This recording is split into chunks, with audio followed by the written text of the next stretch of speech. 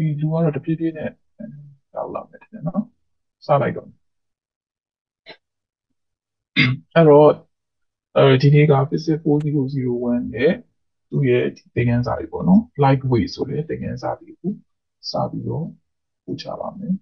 ပြန်ပြီးတော့ revision ပေါ့နော်အဲဒီကတော့ learning outcome တွေအစဉ်တစ်ခေါက်ကလည်းပြောထားရပေါ့နော် content အနေနဲ့ကတော့ chapter 1မှာ lightweight chapter 2မှာတော့ superpositional weight chapter 3မှာတော့ the interference of two beams of wave ဆိုပြီးတော့သင်ခန်းစာတွေပါမှာပေါ့နော်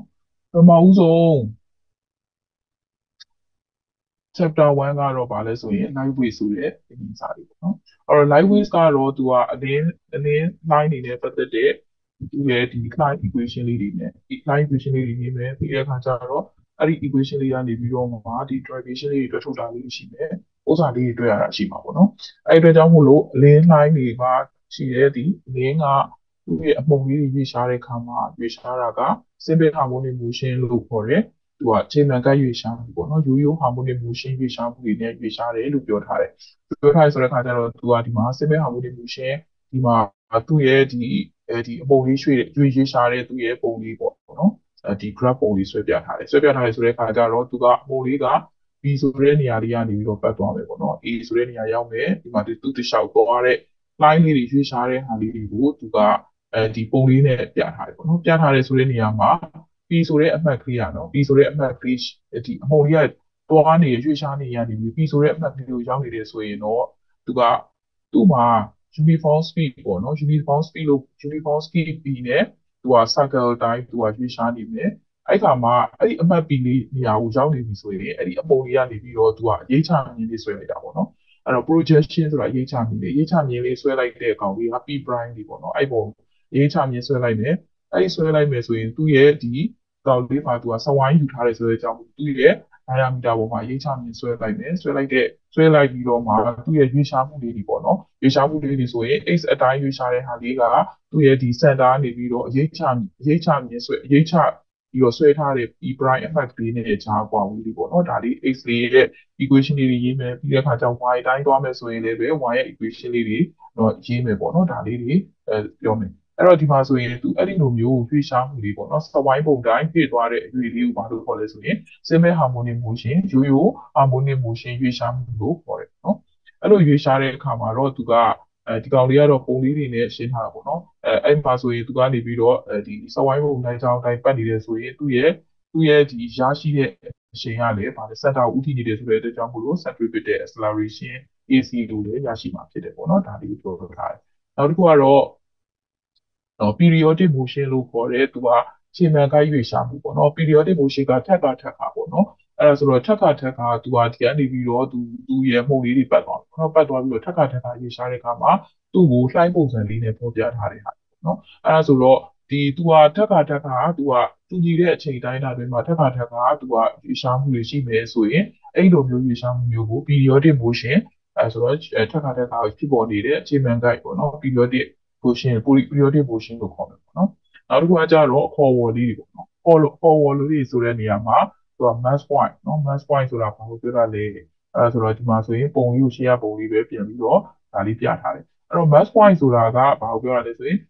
at any instant of time abnormal ဟောသူကနေပြီးတော့ရောက်ရှိနေတဲ့အပုံလေးကရောက်နေတဲ့နေရာနေပြီးတော့သူကနေပြီးတော့ဒီ diameter AB ပေါ်ကိုအရေးချပြီးနှမ်းဆွဲလိုက်တယ်ဆွဲလိုက်တဲ့အခါမှာအဲ့မှာဖြတ်သွားတဲ့အမှတ် P prime လေးပေါ့နော်ဖြတ်သွားတဲ့အမှတ် P prime လေးအဲ့ P prime လေးကိုဘာလို့ခေါ်လဲဆိုရင် mass point လို့ခေါ်ပါတယ်တဲ့အဲဆိုတော့ အဲဒါလေးက P prime လေးကို mass point လို့ခေါ်တယ်နောက်တစ်ခုကအဲ့ဒါရွေ့သွားတဲ့အခါမှာသူက simple harmonic motion တိုင်းရွေ့သွားမယ် acceleration လေးရွေ့သွားမယ် displacement ကိုတွက်ချက်ခြင်းနဲ့ဆိုရင်အဲ့ဒီရွေ့သွားတဲ့ရွေ့လေးကိုသူက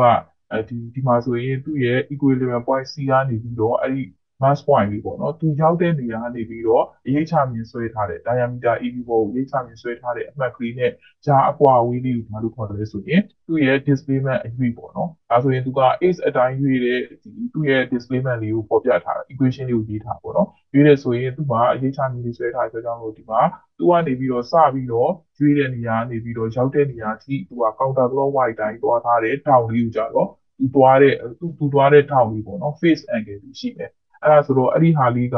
အဲ့ဒီဟာလေးက face angle လေးကတီတာဆိုပြီးရှိမယ်ဒီဟာလေးက h ရှိမယ်ဒါလေးကကြတော့သူ့ရဲ့ အဲဒီနည်းအားဖြင့်ပါလဲဆိုရင်အဲဒီသွားတဲ့ဒီ line လေးတွေက line လေးဖြစ်ပေါ်တယ်ဆိုရင်သူရဲ့ reference เนาะ equilibrium position ကနေပြီးတော့အမြင့်ဆုံးနေရာမှာရောက်နေတဲ့နေရာက amplitude တွေဒါလေးက amplitude တွေပေါ်ပြထားတာပေါ့နော်အဲ radius radius ပေါ့နော်တနည်းအားဖြင့် amplitude တွေ AB ပေါ့နော်အဲ့အတွက်ကြောင့်မို့လို့သူ့ရဲ့ဒီ ဒီ equation လေးပြန်ရေးမယ်ဆိုရင် x equal to ကတိုက်ရက်မှာရှိနေဆိုတဲ့အတွက်ကြောင့်မို့လို့ a အဲသူ့ရဲ့ height ဒါ hypotenuse က a cos theta ဆိုပြီးတော့ရေးလို့ရမယ် x equal to a cos theta ဆိုပြီးတော့ equation လေးအဲသူ့ရဲ့ဒီ displacement ရဲ့ equation လေးကိုရေးလို့ရမှာပေါ့နော်အဲ့တော့ဒီ simple harmonic motion တွေနဲ့ပတ်သက်ပြီးတော့သူ့ရဲ့ဒီ derivation တွေတွေ့ထုတ်တဲ့အခါပေါ့နော်အမှတ် B မှာဆိုရင်သူ့ရဲ့ဒီ constant speed ရွေးရှားနေတဲ့ကောင်က v ဖြစ်မယ်အဲ့တော့ radius vector လေး radius vector လေးကသူကရွှေ့သွားမယ်ပေါ့နော် constant angular angular speed เนาะ omega နဲ့လည်းသူကရွေ့သွားမယ်အဲ့တော့အမုံလေးတွေပတ်တယ်ဆိုတဲ့နေရာမှာသူ့ရဲ့ဒီ linear တိုင်းရွေ့တဲ့ v လေးလည်းရှိမယ် angular တိုင်းရွေ့တဲ့ angular speed omega လည်းရှိမယ်ဒါဆိုရင် theta equal to က omega t နဲ့တူခဲ့မယ်ဆိုရင် displacement က x equal to a cos omega t ဆိုပြီးတော့လည်းရေးလို့ရတယ်ပေါ့နော် omega ဆိုတာကသူက angular angular speed ဆိုတဲ့အတွက်ကြောင့် speed ဆိုတဲ့အတွက်ကြောင့်ဟိုသွားတဲ့အရွေ့ကိုပြီးပြီးတဲ့အခါကျတော့အဲသူ့ရဲ့အချိန်တိုင်းနဲ့စားထားတာအဲဆိုတော့သူသွားတဲ့အရွေ့ကတစ်ပတ်ပြည့်သွားတယ်ဆိုရင်2ပိုင်2ပိုင်ကြာတယ်ပေါ့နော်အချိန်အချိန်နေနဲ့ဆိုရင် period ကတည်ကြာတယ်ဆိုတဲ့အတွက်ကြောင့်မို့လို့ omega equal to ကဘာနဲ့တူဆို2ပိုင်မှာအဲဆိုရင် period t ကိုလိုချင်တယ်ဆိုရင်တော့2ပိုင်မှာ omega ပေါ့ဒီ equation လေးတွေသုံးပြီးတော့နောက်ပိုင်းမှာဥစ္စာလေးတွေတွေ့တာမှာသုံးပြီးသွားတာသုံးပြီးသွားမှာပေါ့နော်အဲဆိုရင်ကျွန်တော်ကသူ့မှာ angular angular velocity angular speed ပေါ့နော် angular speed omega နဲ့ linear speed ပေါ့နော် b နဲ့ဆက်သွယ်တဲ့ equation တွေရှိတယ်ရှေ့တုန်းကဒီ second ဟိုကတော့မှာသင်ထားတဲ့ဟာရှိတယ်ဒီ rotational motion တို့ဘာလို့မှာ v equal to b နဲ့ omega ရဲ့ဆက်သွယ်တဲ့ equation ပေါ့နော်အဖြောင့်နဲ့ဒီဒီစဝိုင်းပုံတိုင်းသွားတဲ့ကောင်ရဲ့ဆက်သွယ်တဲ့ equation က v equal to r omega ဆိုပြီးတော့ရှိတယ်ဒီနေရာမှာ r ဆိုတာက radius က သူ့ရဲ့ amplitude ဖြစ်လို့ယူထားဆိုတော့ r နေရာမှာ a ဆိုပြီးတော့သုံးထားပေါ့နော် v equal to a omega ဆိုပြီးတော့သုံးထားအဲဆိုရင်စဝိုင်းပုံတိုင်းဒီ center circle ကိုဥတည်ပြီးတော့ရနေတဲ့ centripetal acceleration AC ဆိုတာတကယ်ရှိတယ်အဲ့တော့ AC ရဲ့ equation ကတော့ v square by a ဆိုတဲ့ဒီ equation လေးရှိတယ်ပေါ့နော်အဲဆိုရင် AX ကဒီအဲဒီ x x မှာရှိတဲ့ component AX အတွက်ဒီပုံသဏ္ဍာန်လေးပြန်ရေးမယ်ဆိုရင် AX equal to က AC cos theta နဲ့တူတယ် အဲဆိုရင် AX equal to AC နေရာမှာ v square by a ကိုစာသွင်းလိုက်တယ်ဒီက cos theta cos theta ဆိုတာကဘာနဲ့တူလဲဆိုရင်အဲ h by a ပေါ့နော် cos တဲ့ဒီ equation လေးပေါ့အပေါ်ပထမဆုံး equation လေးကနေ h equal to a cos omega cos theta ပေါ့နော် အဲဆိုရင် cos theta ကဘာနဲ့တူလဲဆိုရင် h by ဒါလေး a လေးဒီဘက်ကိုရောက်နေတယ် h by a နဲ့တူတယ်ဒီနေရာလေးမှာ cos theta နေရာမှာ h by a လေးစတွေ့လိုက်တယ်တွေ့လိုက်တယ်ဆိုရင်ဒီကောင်လေးက a square b square b square by a square ဆိုတဲ့အတွက်ကြောင့်မို့လို့ဒီကောင်လေးကဒီဘက်ကိုဒီဘက် equation ဘက်ကိုရောက်သွားမယ်ဆိုရင် a square by b square ဆိုပြီးတော့ဖြစ်တယ်အဲ့ဒါဆိုတော့သူ့ကို square ကိုဖြုတ်ချင်တယ်ဆိုတော့ဟိုဘက်ကို square နော်ဒါဆိုရင် a by b equal to square root ဒီဘက်မှာ h h လေးကဒီဘက်ကိုရောက်လဲဆိုရင် h by a စာရီ square root ပေါ့နော်ဒါဆိုတော့ a h by ax ပေါ့နော်အဲ့တော့ဒီမှာဆိုရင်အဲဒီဒီနေရာလေးမှာ h by a is က equal to a နော်ပုံမှာ a ရှိမယ်ပြီးသွားရင် b ဆိုတာကဘာလဲတူလဲဆို a omega နဲ့တူတယ်အဲ့တော့ b နေရာမှာ a omega ထည့်လိုက်တယ်နေရာချင်း square root of h by a ဆိုပြီးရှိမယ်ဒါလေးက အဲဒီဒီနေရာမှာ a omega ထည့်တယ်ဆိုပြီးတော့ဒါလေးကပြောတာဒါဆိုရင်သူကနောက်ဆုံးမှာ equation လေးကိုတက်ထုတ်လိုက်တဲ့အခါမှာအဲသူက x by a เนาะဒီဒီမှာဆိုရင် a a လေးကိုဟိုထည့်လိုက်တယ် a နှစ်ခုကိုခြေလိုက်တယ်ပေါ့နော်ခြေလိုက်တယ်ဆိုရင်ဒီမှာဘာပဲကျန်လဲဆိုရင်1 by omega ဆိုတာပဲကျန်တယ်အဲ့တော့1 by omega ဆိုတာကျန်တယ်ဆိုရင် omega equal to 2 by t 1 by omega ဆိုတော့သူ့ရဲ့ပြောင်းပြန်ဆိုတော့ t by 2 by ပေါ့နော်ဒါကြောင့်မို့လို့ t by 2 by a equal to က square root of h by a ဒါဆိုရင်2 by 2ဒီဘက်ကိုပို့လိုက်တယ်ဆိုရင်တော့ဒါတန်းသူကတန်းပြီးတော့ရေးထားတာအဲ့တော့သူ့ရဲ့ period t နဲ့သူ့ရဲ့ဒီရွေးသွားတဲ့အရွေး x လေးနဲ့ပေါ့နော်ဒီ amplitude a လေးတွေနဲ့သူ့ရဲ့ဆက်သွယ်ထားတဲ့ equation လေးကဘာဖြစ်လာလဲဆိုရင် t equal to 2 by into square root of h by a ဆိုပြီးတော့ဒါရှိတယ်ပေါ့နော်အဲ့မှာရှိတဲ့ t ကတော့ period ပေါ့နော် a ဆိုတာလေးကတော့ amplitude ကိုပြောတာကျွေးသွားတဲ့အခါမှာအမြင့်ဆုံးရွေးရှာတဲ့သူရဲ့ amplitude တွဲတယ်ပေါ့နော်ဒါလေးပြောတာ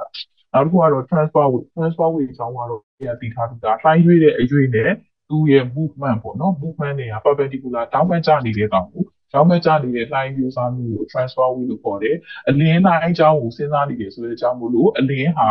ပါလဲဆိုရင် light weight ကအလင်းလှိုင်းက transfer weight ဖြစ်တယ်ဆိုတဲ့အကြောင်းမို့လို့ transfer weight အကြောင်းကိုသူကပြင်ထည့်ထားတယ်အဲ့ တော့ transfer weight မှာဆိုရင် transfer weight ကသူ line လေးရွေ့ရှားသွားတယ်ဆိုရင်ရွေ့သွားတဲ့သူ့ရဲ့ဒီရွေ့သွားတဲ့ဒီ time propagation time ပြည့်နေသွားတဲ့ကောင်နဲ့သူရဲ့ဒီ vibrate လုပ်ပြီးတဲ့အခါမှာ vibrate က vibrate လုပ်တဲ့ဒီအပေါ်အောက်ရွှေ့ရှားမှုလေးတွေက perpendicular တောက်မဲ့ကြနေတဲ့ကောင်ကိုဘာလို့ခေါ်လဲဆိုရင် transfer wave လို့ခေါ်မယ် light wave တွေပုံလုံးက transfer wave ဖြစ်တယ်နော်အဲဆိုတော့အဲ့မှာသူ့ရဲ့ဒီ wavelength ဆိုတာလေးကိုလည်းပြန်ပြီးတော့ပြောထားတယ်နော် wavelength ဆိုတာကတော့သိထားပြီးသားပဲ line ဒီမှာဆိုရင်အဲ crash ရှိတယ် drop ရှိတယ်အဲ့တော့ crash နှစ်ခုကြား consecutive crash နှစ်ခုကြားကွာ wave consecutive တက်ရရှိတဲ့ drop နှစ်ခုကြားကွာ wave ကို wavelength လို့ပြောတာပေါ့နော်အဲ့ဒါဆိုတော့သူ့ရဲ့ linear speed ပေါ့နော် equation wave equation တွေက v equal to အရင်တော့ f lambda ဆိုပြီးတော့ပြောတယ်ဒီမှာတော့ frequency ကို mu နဲ့ရေးတယ်ပေါ့နော် mu ဆိုတဲ့သင်္ကေတလေးနဲ့ရေးတယ် v equal to mu lambda အဲဆိုတော့ အဲ frequency က period နဲ့ပြောင်းပြန်ချိုးကြတယ်ဆိုတဲ့အတွက်ကြောင့်မို့လို့အဲ့တော့ frequency equal to က 1/t နဲ့တူတယ်ဒါကြောင့် frequency နေရာမှာ 1/t ကိုစားသွင်းလိုက်တယ်ဒါကြောင့်မို့လို့ v equal to က lambda/t ဆိုတဲ့ equation လေးတွေသုံးပြီးတော့နောက်ဘက်မှာအဲပုံစံတွေ့တဲ့အခါမှာထည့်သွင်းပြီးတော့အဲတွက်တွက်ချက်တဲ့အပိုင်းလေးတွေရှိမယ်အဲ့တော့ဒီ displacement ကသူရွေးတဲ့အခါမှာ x အတိုင်းရွေးတာလည်းရှိမယ် y အတိုင်းရွေးတာလည်းရှိမယ်အဲ့ဒါဆိုတော့ y ရွေးတဲ့အဲသူ့ရဲ့ displacement ရွေးရှားမှုတွေကိုလုပ်ချင်တယ်ဆိုရင်တော့ y ရဲ့ equation က y equal to a sin အဲ့တော့2 pi x pi lambda ဆိုပြီးတော့ယူလို့ရတယ်เนาะ2 pi x pi lambda အဲနောက်က y equal to a sin kx ပေါ့နော်အဲ့တော့ k ဒီ2 pi my အဲ2 pi my lambda ပေါ့နော်ဒါလေး2 pi my lambda လေး2 pi my lambda နေရာမှာဘာလေးထည့်လိုက်ဆို k ကိုထည့်လိုက်တာ2 pi my lambda နေရာမှာ k ကိုထည့်လိုက်တဲ့အခါကျတော့ a sin kx ဆိုပြီးတော့ရပါเนาะဒီ equation လေးအဲ့တော့ဒီမှာဆိုရင် ဒါလေးက lambda เนาะပြီးတော့မှပြင် y equal to a sin kx ပေါ့เนาะ equation လေးရလာတယ်အဲဆိုရင်ဒီမှာရှိတဲ့ k ဆိုတာလေးကသင်္ကေတလေးကဘာကိုပြောတာလဲဆိုရင်အဲ့ဒီ wave vector လို့လည်းခေါ်တယ် propagation number လို့လည်းခေါ်တယ်ပေါ့နော်သူ့ကိုပြောရဆိုရင်သူ့ရဲ့အဲ unit က radian per centimeter ပေါ့နော်1 centimeter မှာသူ့ရဲ့ဒီရွေ့သွားတဲ့ပါပေါ့နော် wave wave vector လို့လည်းခေါ်တယ်အဲဆိုတော့ဒီ file လေးတွေကရွေးတဲ့အခါမှာ y y နဲ့ပေါ့နော် displacement ကို y နဲ့ပေါ်ပြခြင်းနဲ့ပေါ်ပြခြင်းနဲ့ဆိုရင်သူရွေးတဲ့ရွေးက plus 8 direction တိုင်းရွေးတယ်ဆိုရင်ဒီ equation လေးကိုရေးလို့ရတယ်ဆိုရင် y equal to a sin 2 pi minus lambda ပေါ့နော်ရှိတယ်တော့2 pi minus lambda အဲဒီနေရာမှာသူကရွေးတဲ့အရွေးလေးဖြစ်သွားပြီဆိုတော့ကြောင့်မလို့သူရွေးတဲ့ခြားရွေးခြားနာခြင်းလေးတွေပါလာတယ်အဲဆိုတော့ x minus vt ပေါ့နော်ဒီ equation လေးအဲ့တော့ဒီ equation ကနေတစ်ဆင့် k equal to 2 pi minus lambda အစားသွင်းမယ်ပေါ့နော်အစားဒီမှာဆိုရင်သူက အဲ a sin ဟောဒီမှာဆိုရင်အဲ k ဒီမှာဆိုရင် x kh ပေါ့နော် kh minus 2 pi minus lambda into theta ဆိုတော့ဒီထဲမှာအဲ့တော့ဒီ2 pi minus lambda လေးကိုသူကအထက်ထဲမှာဝင်ပြောက်လိုက်တာအဲဆိုရင်ဒီမှာ2 pi minus lambda ဆိုတာတနည်းအားဖြင့် k ကိုပြောတာဆိုတော့ဒီအရှိမှာတော့2 pi minus lambda ဝင်ပြောက်တဲ့ဟာကို k လို့ရေးထားတယ်ဒီနောက်မှာတော့2 pi minus lambda ဝင်ပြောက်တယ် into t ပေါ့နော်အဲ t ရှိမယ်အဲ့တော့ပြီးတဲ့အခါကျတော့အောက်ဘက်မှာလည်းတစ်ဆင့် သူကနေပြီးတော့မှအဲ y equal to a sin ဒီမှာတော့ kx ပြန်ရေးတယ် minus 2 pi minus lambda ဒီဒီနေရာမှာ v လေးကျန်တယ်နော်ဟုတ်ဒါလေးတွေ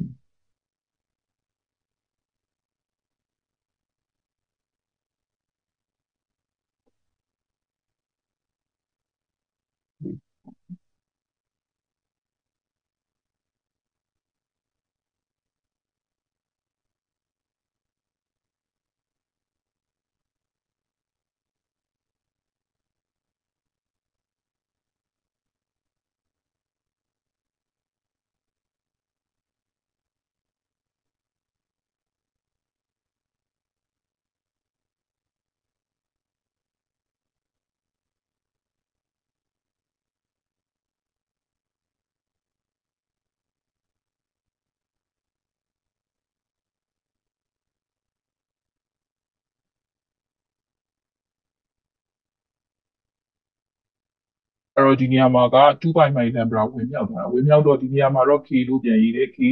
နေရာမှာတော့2 pi minus lambda အတိုင်းပဲထားတယ် pt ပေါ့နော်ဒါလေးတွေ pt အဲ့ဆိုတော့2 pi minus kh ဒီတိုင်းထားတယ် minus အဲ့တော့အဲဒီမှာဆိုရင်2 pi ပေါ့နော်ဒီမှာ v by lambda အဲ့တော့ v by lambda ကဘာနဲ့တူလဲဆိုရင်1 by t နဲ့တူတယ်ဘာလို့လဲဆို1 by u v equal to u lambda ဆိုတဲ့ equation လေးကနေတစ်ဆင့်ပေါ့နော် u ကတော့1 by t နဲ့တူတယ်ဆိုတဲ့အတွက်ကြောင့်မလို့ u equal to v by lambda ဒါကြောင့်မို့လို့အဲဒီ v by lambda နေရာမှာ v by lambda နေရာမှာ1 by t လေးကိုဒါလေးကိုစသွင်းလိုက်တာနော်သွင်းလိုက်ပြီးတော့ဒီ equation လေးရလာတယ်အဲ့တော့ရလာတဲ့အခါမှာ2 pi by t ဆိုတာကဘာကိုပြောတာလဲဆိုရင် angular frequency omega ကိုပြောတာပေါ့နော်ဒါကြောင့်မို့လို့ y equal to a sin kx minus 2 pi by t နေရာမှာ omega ထည့်လိုက်တယ် t ပေါ့နော်နောက်တော့ဒီ equation လေးရလာတယ်ဒီ equation လေးတွေကိုအဲဒီ နောက်ကပုံစံတွေထွက်တဲ့အခါမှာနှိုင်းယှဉ်ပြီးတော့ပဲ comparison လုပ်ပြီးတော့အဲဒီသုံးဒီဟာလေးကို equation လေးတွေသုံးပြီးတော့မှပြန်ပြီးတော့တွက်ချက်ပေးရတဲ့အပိုင်းလေးရှိရပေါ့နော်အဲဆိုတော့အဲအဲ့တော့ဒီ equation လေးမှာဒီရှေ့မှာဆိုရင် y equal to a sin kx minus omega t ဆိုတာလေးရှိတယ်လို့သူ့ရဲ့ direction လေးကြောင့်သူ့ရဲ့ဒီသွားတဲ့ရွေ့ရှားမှုလေးတွေအပိုင်းမှာသူ့ရဲ့ direction လေးတွေအဲဟို fly ရဲ့ရွေ့ရှားမှုလေးတွေပြောင်းလဲမှုတွေရှိရဆိုရင်အဲသူ့ကိုဘယ်လိုရေးလို့လဲ y equal to a sin အဲ omega t minus k ဆိုပြီးတော့လည်းရေးလို့ရတယ်အဲ့ကနေပြီးတော့လည်းပဲအဲဒီဒီပေးထားတဲ့ equation လေးတွေကနော် y equal to အဲ y equal to a sin အဲ့တော့အဲဒီဒီမှာဆိုရင်သူကဘာလဲဆိုရင်အဲ့တော့ omega နဲ့ omega နဲ့ omega လေးကိုပုံထုတ်လိုက်တယ်နော် omega equal to ကအဲ2 pi minus t ပေါ့နော် omega ကိုပုံထုတ်လိုက်တယ်ဒီမှာ t ပဲကျန် omega t omega equal to 2 pi minus t ဆိုပြီးတော့အဲ့ဒါတန်းရေးလိုက်တယ် omega နေရာမှာ2 pi minus t လေးကိုပုံထုတ်လိုက်တယ်ဒီထဲမှာ t ပဲကျန်တယ် minus အဲ့ဒါဆိုတော့ဒီမှာဒီ omega ပုံထုတ်လိုက်တယ်ဆိုရင်ဒီကောင်လေးကတော့ t ဖြစ်သွားတယ်ဒီမှာတော့ omega နဲ့ပြန်စားမှာပေါ့ဒီနေရာလေးမှာဘာဖြစ်သွားလဲဆို k by omega ဖြစ်သွားတယ်အဲဆိုဒီဟာလေးကိုပြန်တော့ရှင်းထားတယ်ပေါ့နော် k by omega ဆိုတာက k နေရာမှာ2 by minus lambda ထည့်မယ်1 by omega နေရာမှာ t by 2 by ဆိုပြီးထည့်မယ်ဒါဆို2 by ရေးကျေးသွားတယ်ဆိုရင် t by lambda နဲ့တူတယ်အဲဆို t by lambda ဆိုတာ equal to ကဘာနဲ့တူလဲဆိုရင်အာ1 by p နဲ့တူတယ်ဒါတော့အဲ့နေရာမှာ k by omega ဒီနေရာလေးမှာပါထည့်လိုက်တယ်ဆို1 by p ထည့်လိုက်တယ်1 by p ထည့်လိုက်တဲ့အခါကျတော့ဒီ equation လေးမှာ is by p ဆိုပြီးတော့ဖြစ်သွားတယ်ပေါ့နော်အဲဆိုရင် y equal to a sin အဲဆိုရင်ဒီမှာသူကအဲ mu က1 by t လို့ပြောတရားဆိုရင်အဲ t ရှိမယ်အဲ2 by 1 by t 1 by t ပေါ့နော်1 by t ကဘာနဲ့တူလဲဆိုရင် mu ပေါ့နော် frequency နဲ့တူတာအဲဆိုတော့ဒီနေရာလေးမှာ1 by t နေရာမှာဘာထည့်လိုက်လဲဆိုရင်2 by mu ဆိုပြီးတော့ထည့်လိုက်တယ် အဲဆိုတော့ဒီ queen ထဲမှာ t ပဲကျန်မယ် minus h by p ပေါ့နော်အဲ့တော့ဒီမှာ mu ဆိုတာက v by lambda နဲ့တူတယ် frequency က v by lambda နဲ့တူတယ်အဲဆိုတော့ mu နေရာမှာ v by lambda ထည့်လိုက်တယ်အဲ v by lambda ကိုထည့်လိုက်ပြီးတဲ့အခါကျတော့ဒီ b လေးကိုကျတော့အတွင်းထဲကိုဝင်ပြီးတော့မြောက်တယ်ပေါ့နော် b လေးကိုအတွင်းထဲဝင်မြောက်တယ်ဆိုရင်အဲဒီမှာဆိုရင် bt အဲဆိုရင်ဒီမှာဆိုရင်အဲအတွင်းထဲဝင်မြောက်တဲ့အခါ b ကြီး b နဲ့အောက်ဘက်က b နဲ့ကြီးသွားတော့ဒီမှာ x ပဲကျန်အဲကြောင့်မို့လို့ equation လေးနောက်ဆုံး equation လေးထွက်လာတာ y equal to a sin 2 pi minus lambda into bt minus h ဆိုတဲ့ equation လေးလာတာလို့เนาะအဲ့တော့ဒီ equation လေးတွေကတော့သူက equation လေးတွေကိုသုံးပြီးတဲ့အခါကျတော့သူပေးထားတဲ့ဒီသူပေးတဲ့ equation လေးရှိမယ်အဲ့ဒါနဲ့နှိုင်းယှဉ်ပြီးတော့အဲသူ velocity တန်ဖိုးပြန်တွက်ပေးရတာပြီးတဲ့အခါကျတော့အဲဒီ h တန်ဖိုးဘယ်လောက်လဲ အဲ number တန်ဖိုးဘယ်လောက်လဲသူက period period ဘယ်လောက်လဲ omega ဘယ်လောက်လဲဒါလေးတွေကိုပြန်ပြီးတော့နှိုင်းယှဉ်ပြီးတော့မှ equation လေးတွေကနေပြီးတော့နှိုင်းယှဉ်ပြီးတော့မှပြန်ပြီးတော့တွက်ချက်ပေးရတာရှိတယ်ပေါ့နော်နောက်တစ်ခုကတော့ဗာလဲဆိုရင် phase angle အဲ့တော့ phase angle ဆိုတာကတော့ဗာလဲဆိုရင်သူကနေပြီးတော့ positive x direction အတိုင်းသူကအမုံလေးတွေကရွေ့နေရွေ့နေတယ်ဆိုရင်အဲ့ကနေပြီးတော့မှဒီအမုံလေးတွေကရွေ့လာတဲ့ counter clockwise နဲ့ရွေ့နေတဲ့အခါမှာ counter clockwise အတိုင်းရွေ့သွားတဲ့ထောင်လေးကိုတိုင်းထားတဲ့ဟာကို ဘာလို့ခေါ်လဲဆိုပြီး phase angle လို့ခေါ်တယ် phase angle ကကြတော့ဒီလို radian နဲ့ radian နဲ့အတိုင်း radian တော့ degree နဲ့တဲ့ radian တွေနဲ့လည်းပေါ်ပြနေရှိရပေါ့နော်အဲဆိုတော့ y equal to a sin theta ဆိုတာရှိမယ် theta နေရာမှာ omega t ထည့်ပြီးတော့လည်းရေးလို့ရတယ်အဲ့တော့ y equal to a sin omega t ဆိုပြီးတော့လည်းရေးလို့ရတယ်အဲ့တော့ဒီနေရာမှာ phase angle ဒီမှာ initial phase angle beta ကရှိခဲ့မယ်ဆိုရင်သူ့မှာ equation လေးကို y equal to a sin omega t plus beta ဒါမျိုးလေးရေးလို့ရတယ်ပေါ့နော် phase initial phase angle ဒီ ပါခဲ့မယ်ပေါ့နော်အဲဒါ equation လေးရေးထားတယ်အဲ့တော့ phase နဲ့ phase difference ပေါ့နော် phase နဲ့ phase difference ခြားနာခြင်းတွေအတွက်ဆိုရင်သူကရွေးရှားမှုတွေကကြတော့သူကအဲဒီမှာဆိုရင်ဒီ vibration ပေါ့နော်ဒီရွေးရှားမှုတွေဖြစ်ခဲ့မယ်ဆိုရင်အဲဒီ phase တွေကပါလဲဆိုရင်သူ့ရဲ့ light တစ်ပတ်ပြည့်သွားရဲဆိုရင်2 pi 2 pi c 2 pi c 2 pi c 2ကပါလဲဆိုရင်2 2 2 2လာမှာဆိုရင် phase ခြားနာခြင်းတွေပေါ့နော် phase ခြားနာခြင်းတွေမှာဆိုရင်သူအမုံလေးရဲ့ position က အဲ x1 နဲ့ x2 position ကိုပြောင်းသွားမယ်ပေါ့နော်ပြောင်းသွားမယ်ဆိုရင်သူတို့ရဲ့အဲသူ့ရဲ့လမ်းကြောင်းတွေခြားနာခြင်းတွေလည်းရှိလာရှိလာမယ်ဆိုတဲ့အတွက်ကြောင့်မို့လို့သူတို့နှစ်ခုရဲ့ခြားနာတဲ့အဲ့တော့ phase difference delta ပေါ့နော်ဒီထောင်လေးတွေမှာခြားနာသွားတာရှိမယ်အဲ့တော့ phase difference delta ကိုလို့ခြင်းနေဆိုရင် k h2 h1 ဆိုပြီးတော့ equation လေးရှာလို့ရတယ်ပေါ့နော် k ဆိုတာ2 pi minus lambda ထည့်မယ် h2 h1 ကို delta delta ပေါ့နော်အဲ့ဒါဆို delta က optical path difference เนาะလမ်းကြောင်းခြားနာခြင်း delta လေးဆိုပြီးတော့အဲ့လိုမျိုးလေးရေးလို့ရတယ်เนาะအဲ့တော့ example 1.1လေးပြောထားတာကတော့အဲ simple harmonic motion နဲ့ရွေးရှားနေတယ်ပေါ့နော်အဲ့ဒါဆိုရင်သူ့ရဲ့ period က5 second ဆိုတော့ t ပေးထားပါတော့ t က5 second ရှိမယ် amplitude a ကကြတော့3 cm လို့ပြောထားတယ်တကယ်လို့ initial phase ကဆိုတော့ initial phase ကို beta ဆိုပြီးတော့သတ်မှတ်လိုက်မယ်ဆိုရင် beta equal to 5.3 radian ရှိတယ်ရှာခိုင်းတာက initial displacement အဲ့တော့ initial initial displacement ဆိုတဲ့သဘောကစဦးအဲ displacement ရွေးရှားမှုဆိုတဲ့အတွက်ကြောင့်လို့အချိန်အားဖြင့်ဆိုရင်0ဖြစ်မယ်ပေါ့နော်အချိန်အားဖြင့် t equal to 0မှာရှိတဲ့ y တန်ဖိုးကိုရှာခိုင်း y တန်ဖိုးကိုရှာခိုင်းတယ်ဆိုတဲ့အတွက်ကြောင့်မို့လို့ omega equation လေးကိုအရင်ရေးထားမယ် omega equal to 2 pi မှာ t ပေါ့နော် t ကတော့5ဆိုတော့ထည့်ထားမယ်2 pi 2 pi မှာ5 radian per second ပေါ့နော် omega လေးကိုနေရာမှာဒီဒီကောင်လေးကိုစားသွင်းပြီးတော့တွက်မယ်ပေါ့နော်အဲ့တော့ equation လေးရေးမယ် equation လေးက y equal to a sin omega plus beta ဒီ equation လေးကတော့အရင်ဆုံးစာအုပ်ကြည့်ရအောင်နော်အဲ့တော့ y equal to a sin omega plus beta ဆိုပြီးတော့ရေးမယ်အဲ့တော့ y equal to a sin omega နေရာမှာ2 pi minus lambda လေးကိုထည့်တယ် t in plus beta ပေါ့နော်အဲ့တော့ y equal to အဲ a sin เนาะဒီဒီမှာဆိုရင် t နေရာမှာ0ထည့်တယ်ပေါ့နော်အဲ့တော့အဲဒီမှာဆိုရင် omega နေရာမှာခဏလေးဒီ omega နေရာမှာ2 pi မှာဒီဖြစ်ရ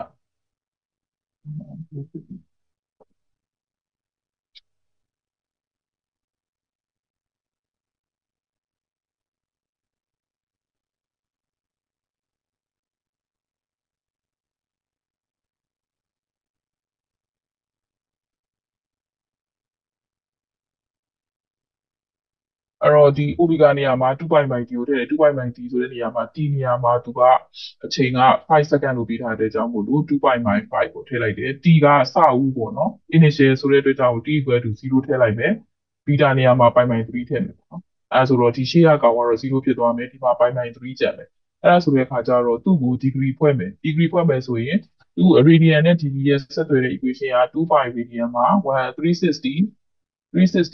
ဆိုတဲ့ဆက်သွယ်ချက်တွေရှိတယ်အဲ့ကနေပြီးတော့ခြေလိုက်တယ်ဆိုရင်တော့ pi မှာဆိုရင် 180 degree ပေါ့ဒါကြောင့်မို့လို့အဲဒီ radian ကနေပြီးတော့ degree ဖွဲ့ခြင်းနဲ့ဆိုရင်180 degree by pi ဆိုတာလေးနဲ့မြောက်ပေးလိုက်ရင်သူ့ကို degree ဖွဲ့လို့ရမယ်ဒါဆို pi ရင်းခြေသွားမယ်အဲ့ကနေပြီးတော့ရလာတဲ့ degree တန်ဖိုးက60 degree ပေါ့နော်ဒါလေးထည့်ပြီးတော့တွက်လိုက်တဲ့အခါမှာ2.59 cm ဆိုပြီးတော့သူ့ရဲ့ y ပေါ့နော် y ဒီ initial displacement လေးကိုရှာပြရမယ်။ level b လေးကကြတော့သူက 12 second ကြာပြီးတဲ့အချိန်မှာရှိတဲ့သူ့ရဲ့ displacement ကိုရှာနိုင်တယ်ဒါဆိုတော့ t က0ကနေပြီးတော့အချိန်က12 second ဖြစ်သွားပြီ12 second ဖြစ်သွားပြီဆိုရင် y equal to အဲသူ့ရဲ့ပုံစံလေးလေးပေါ့နော်2 pi by 5 t ဒီ equation လေးကနေတစ်ဆင့်ဖြတ်ပြီးတော့တွက်မယ်အဲ့တော့ t နေရာမှာသူက0မဟုတ်တော့ဘူးတွဲထည့်ပြီးတော့တွက်မယ်ပေါ့နော်တွက်ပြီးတဲ့အခါကျတော့အဲ့ကနေပြီးတော့မှ degree ပြန်ဖွဲ့မယ်ဖွဲ့ပြီးတော့မှ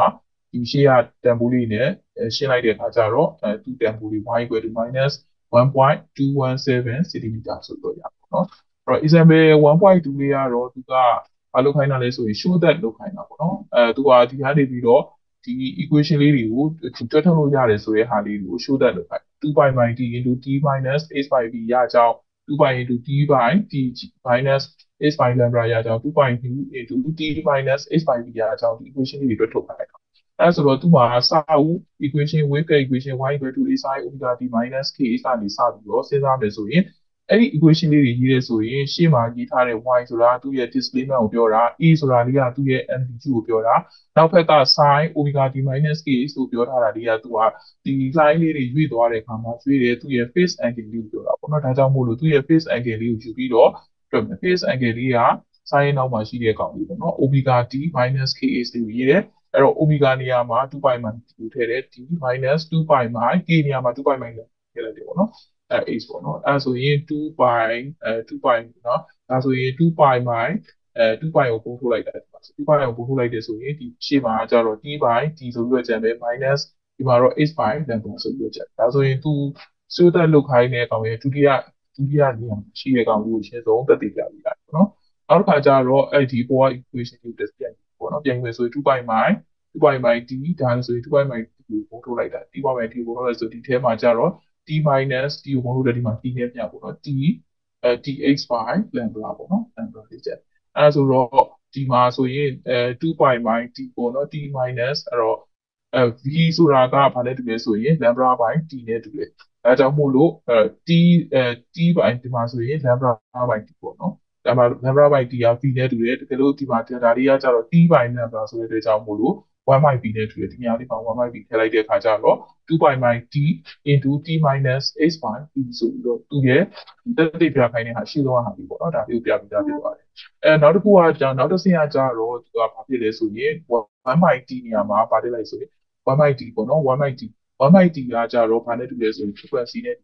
frequency new လေးကိုထည့်လိုက်တယ်ပေါ့နော်အဲဆိုတော့ 1/d နေရာမှာ new လေးကိုထည့်လိုက်တယ်ဒီ equation လေးတိုင်းပြန်ပြီးမယ်ဆိုရင်2 by new into t minus h by t ဆိုပြီးတော့သူအဲသူကရှာခိုင်းတဲ့နောက်ဆုံးဒီ equation လေးကိုသက်တည်ပြလို့ရတယ်ပေါ့နော်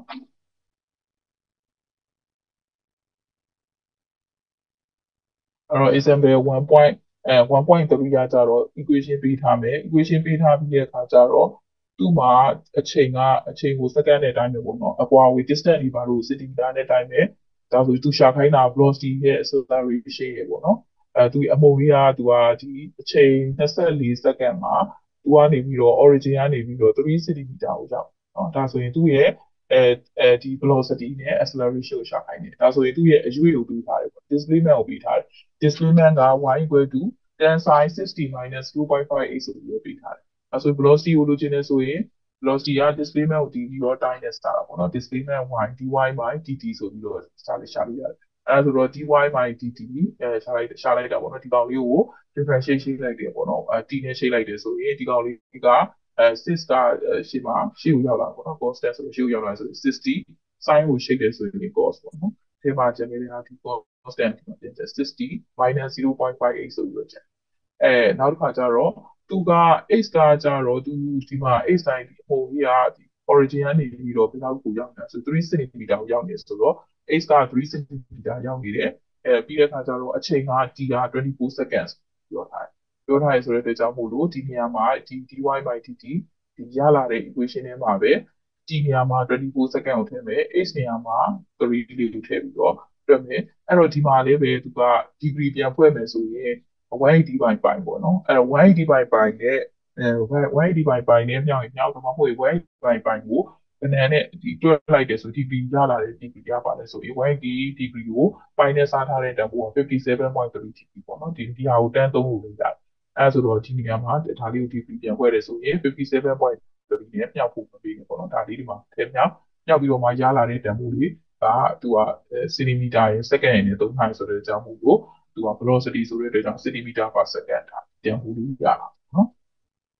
အဲ့ကနေပြီးတော့မှ velocity ရရသွားပြီးတော့နော် velocity equation dt ကောင်းလေးရှိနေပဲအဲ့ဒါဆိုတော့ velocity ရထားပြီးသွားပြီဆိုရင်သူက acceleration ကိုဆက်ရှာခိုင်းနေဆိုရင် acceleration ဆိုတာ velocity ကို t နဲ့စားထားတာအဲ့ဒါဆိုတော့ velocity က dy by dt t နဲ့ထပ်စားတဲ့အခါကျတော့ d2y by dt square ဆိုပြီးတော့ဖြစ်တယ်ပေါ့နော်အဲ့တော့ d2y ဒီကောင်လေးကိုဗါတယ် t နဲ့ထပ်ရှိနော် t နဲ့ထပ်ရှိမယ်ဆို ရင်ဒီ6ကရှေ့ဘက်ကိုရောက်လာမယ်ဆိုရင်66 36ဆို360အဲ့ဒါဆိုတော့ cos ကို shade တယ်ဆိုရင် minus sin ပေါ့နော် minus sin ဒီတဲ့အနောက်ကကောင်ပြန်ပြီး 60 minus 0.5 is ဒါလို့ရ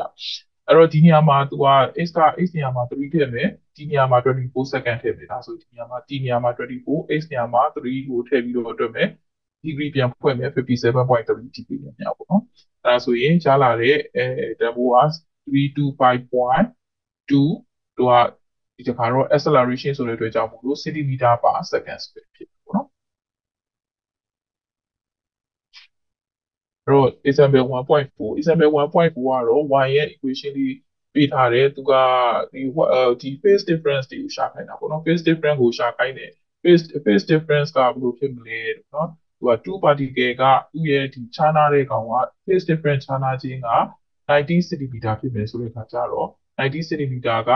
90 cm ကွာဝေးတယ်ပေါ့နော်သူတို့ရဲ့လမ်းကြောင်းတစ်ခုက90 cm ကွာဝေးတယ်ဆိုရင်သူ့ရဲ့ phase difference ကိုရှာပေးပါပေါ့နော် phase difference ဆိုတာ delta ကိုရှာခိုင်းတယ် delta equal to k into h2 minus h1 ဆိုတော့အဲဒီမှာတော့သူက path difference ကို h1 minus h2 လို့ထားပြီးတော့တွက်လိုက်ရနော်အဲအဲ့တော့ path difference ကသူ့ရဲ့လမ်းကြောင်းခြားနာခြင်းဟာအဲသူဘယ်လောက်ရလဲဆိုရင်90 cm လို့ဆိုပြီးတော့ပြီးချက်ရှိတယ်အဲဆိုတော့ h1 minus h2 နေရာမှာ90 cm ထည့်တယ် phase difference ကိုလိုချင်တယ်ဆိုရင်သူ့ရဲ့ဒီ equation လေးပေါ့နော်နောက်ဘက်ကပါလို့ရှိတယ်ပေါ့နော်နောက်ဘက်က phase phase ခြားနာခြင်းနောက်က7 pi အဲ့တော့သူကပြောထားတာကသူကသူတို့အသီးသီးရှိတဲ့အခါမှာသူကဗာလဲဆိုရင်တိုင်းတာလို့ရတဲ့တန်ဖိုးရှိရဲ့အဲ့မှာသူ့ရဲ့တန်ဖိုးကပေါ့နော်အသီးသီးတန်ဖိုးလေးရှိတယ်လို့ပြောတာခြားနာခြင်းအဲ့ဒါဆိုတဲ့အတွက်ကြောင့်မို့လို့အဲဒီ7 pi တော့ဒီနေရာမှာ h1 70 24t 7 pi ဒီနေရာမှာ h2 24t အဲ့မှာဆိုရင်ဒီ7 pi ကိုပုံထုတ်ဒါဆိုရင် h1 h2 ဆိုတာချက်အဲ့တော့ h1 h2 ကသူပေးချက်က90 cm ဆိုတော့အဲ့နေရာမှာအစားထိုးမယ်ရလာမယ်တန်ဖိုးကို7 pi နဲ့အဲညောင်းလို့တယ်ဆိုရင်ဘယ်လောက်ရလဲ630 pi ဆိုပြီးတော့သူရဲ့ phase difference ကိုရရှိပေါ့နော်အဲတော့ question ရဲ့ problem တွေရတော့ဒီ SHM ရဲ့ definition ရှေ့မှာပေးထားပြီးသားပေါ့နော်အဲ့တော့ဒီမှာကတော့ဒီ line လေးတွေပေးထားပြီ line ရဲ့ equation လေးပေးထားတယ် အဲ amplitude ကဒီ amplitude ဘယ်လောက်လဲ wavelength ဘယ်လောက်လဲနောက် frequency ပေါ့နော်နောက်တစ်ခုက initial phase angle အဲနောက်တစ်ခုကကျတော့သူ့ကို initial phase angle radian နဲ့ပြပေါ့နော်နောက်တစ်ခုကကျတော့ initial displacement အဲ့တော့ initial displacement ဆိုတဲ့သဘောတရားက t equal to 0 x equal to 0မှာရှိခဲ့တာပေါ့နော်အဲ့ဒါလေးကိုရှာပေးရအောင်အဲဆိုတော့သူပေးထားတဲ့ equation ကိုကြည့်ပြီးတဲ့အခါကျတော့နိုင်ရှင်းလို့ရမယ့် equation လေးတစ်ခြားကိုအရင်ဆုံးကြည့်မယ်ပေါ့နော်ရေးတဲ့အခါမှာ y equal to ဒီက a sin 2 pi by lambda by into pt minus x plus pi ဆိုပြီးတော့ဒီ equation လေးတစ်ခြားကိုသူ့ရဲ့နိုင်ရှင်းလို့ရအောင် equation တစ်ခြားကိုရေးပြီးရေးပြီးတဲ့အခါကျတော့သူ့ရဲ့ပေးထားတဲ့ equation ကိုအောက်ကနေရေးမယ်ရေးတဲ့အခါမှာသူကနှိုင်းရှင်းလိုက်တဲ့အခါမှာသူက MB2 ကိုပြောမယ်ဆိုရင်တော့ MB2 တန်ဖိုးလေးတွေပြောလို့ရတယ်ပေါ့နော်ဒီမှာဆိုရင်ဒါဒီ equity 2 sin ရဲ့အနောက်မှာဆိုရင်2 pi နိုင်ဒီမှာ2 pi ရှိတယ်ပေါ့နော် lambda ကိုတွက်ဖို့အတွက်က အဲ lambda နဲ့နှိုင်းယှဉ်မှုကမရှိဘူးဖြစ်အဲ့အတွက်ကြောင့်မို့လို့ဒီမှာကျတော့လေဒီမှာကျတော့ x ကကျတော့ဒီမှာ 4x ဆိုပြီးတော့ဖြစ်နေတယ်ဒါကြောင့်မို့လို့ဒီ4ကိုအဲဆိုရင်အပြင်ကိုထုတ်ပေါ့နော်အပြင်ကိုထုတ်မယ်ဆိုတဲ့အတွက်ကြောင့်မို့လို့4ကိုပုံထုတ်လိုက်မယ်ပို့ထုတ်လိုက်မယ်ဆိုရင်4ကိုပို့ထုတ်လိုက်တယ်ဆိုဒီကောင်မှာ 2t ဖြစ်မယ် minus ဒီမှာဆိုရင် x ပေါ့နော်ဒီ4ပို့ထုတ်လိုက်တဲ့အခါမှာဒီကောင်က4နဲ့4နဲ့416ဆိုတော့3 by 16ဆိုပြီးလာတာအဲ့တော့ဒီ4ဆိုတာလေးက သူ့ရဲ့ဒီကောင်လေးက lambda လေးကသူ့ရဲ့ပိုင်းချီရှိနေတယ်အဲ့ဒါဆိုပိုင်းချီကိုပို့ချင်တယ်ပိုင်းချီကိုပို့ချင်တယ်ဆိုတော့4ဆိုတာပိုင်းချီအောက်ကိုရောက်ရောက်တယ်ဆိုရင်အဲ1/4နဲ့ဒီအောက်ဘက်ကိုရောက်သွားဆိုတူတူပဲပေါ့နော်ဒါကြောင့်2 pi 1/4ဆိုပြီးရေးလိုက်တယ်ပြီးအတွက်နောက်ကျန်တဲ့ equation ကဒီတိုင်းပြန်ပြီအဲ့ဒါဆိုရင်ဒီ equation နံပါတ်1နဲ့နောက်ဆုံးရလာတဲ့ equation တစ်ခု1နဲ့2နဲ့ကိုနှိုင်းယှဉ်လိုက် compare လုပ်လိုက် compare လုပ်လိုက်တဲ့အခါမှာ amplitude နေရာမှာဘာလို့လဲဆိုရင်6ဆိုတဲ့အခါပေါ့နော်သူကတော့ အဲစင်တီမီတာတွေမီတာတွေဘာတွေနဲ့စက္ကန့်တွေဘာတွေနဲ့မပြောထားဘူးပေါ့နော်ဒါအဲ့အတွက်ကြောင့်မို့လို့သူ့ကို unit နဲ့ပဲပေါ်ပြတယ်ပေါ့နော် A က6 unit ရှိတယ်နောက် wavelength ကိုနှိုင်းယှဉ်ကြည့်တဲ့အခါကျတော့ lambda ကဘာနဲ့လာပြီလို့ဆိုပြီး1/4နဲ့တူတယ်ဒါကြောင့်မို့လို့ lambda က1/4အဲသူ့ရှိလိုက်တာ0.25 unit ဆိုပြီးရမယ်နောက်တစ်ခုကကြတော့ဘာကိုရှာခိုင်းတာလဲဆိုရင် frequency ကိုရှာခိုင်း အဲ့တော့ frequency mu ကိုရှာခိုင်းတာပေါ့နော် mu ကိုရှာခိုင်းတယ်ဆိုတဲ့အခါကျတော့ v equal to mu lambda ဆိုပြီးတော့ရှိရပေါ့နော်အဲ့တော့ frequency က v equal to f lambda f နေရာမှာ mu လို့ဆိုပြီးတော့ဒီမှာသုံး v equal to mu lambda ဆိုပြီးတော့ရှိရဲအဲ့တော့ mu equal to က v by lambda ဒါကြောင့်မို့လို့ v ဘယ်လောက်လဲဆိုတာဒီကို v ဘယ်လောက်လဲဆိုတာဒီမှာ equation လေးတွေရနှိုင်းယှဉ်ကြည့်တဲ့အခါကျတော့ v တန်ဖိုးကဘာနဲ့တူလဲဆိုရင်2နဲ့တူတယ်ပေါ့နော် v က2နဲ့တူတယ်အဲကြောင့်မို့လို့ v နေရာမှာ2ကိုထည့်မယ် lambda ကလည်းတန်ဖိုးက1/4ဆိုပြီးတူတယ်ဒါကြောင့်မို့လို့ mu ရဲ့တန်ဖိုးကဘယ်လောက်ရလဲဆိုရင်8 joule ဆိုပြီးတော့ရတယ်ပေါ့နော်နောက်တစ်ခုကတော့ initial initial အဲသူ့ရဲ့ရွေးရှာရွေး initial အခြေအနေမှာရှိတဲ့ကောင်ဆိုတော့ initial state မှာရှိတဲ့ကောင်ပေါ့နော် initial displacement မှာရှိတဲ့ကောင်ဆို t equal to 0 x equal to 0မှာရှိတဲ့ initial displacement ကိုရှာခိုင်းတယ်အဲဆိုတော့သူ့ရဲ့ t equal to 0 x equal to 0မှာရှိတဲ့ sorry ဒီမှာရှေ့က initial phase angle ကို ရှာခိုင်းတယ် initial phase angle ကိုလို့ကျင်းနေဆိုရင်သူ့ရဲ့ဒီ sin ရဲ့နောက်ဘက်က equation လေးပေါ့ကြိုက်တဲ့ကြိုက်တဲ့ဒီ sin ရဲ့နောက်ဘက်ကပေါ့နော်ဒီဟာလေးတန်ဖိုးလေးတွေယူပြီးတော့သုံးလိုက်တယ်အဲ့တော့ဆိုတော့ရှင်းလို့မဲ့ဒီကြောင်းလေးကိုယူပြီးတော့အဲယူပြီးတော့မှတွက်လိုက်တော့ပေါ့နော်တွက်လိုက်တဲ့အခါမှာဒီနေရာမှာ0ထည့်မယ် x နေရာမှာ0ထည့်မယ်တွက်လိုက်တဲ့အခါမှာသူ့ရဲ့ phase initial phase angle က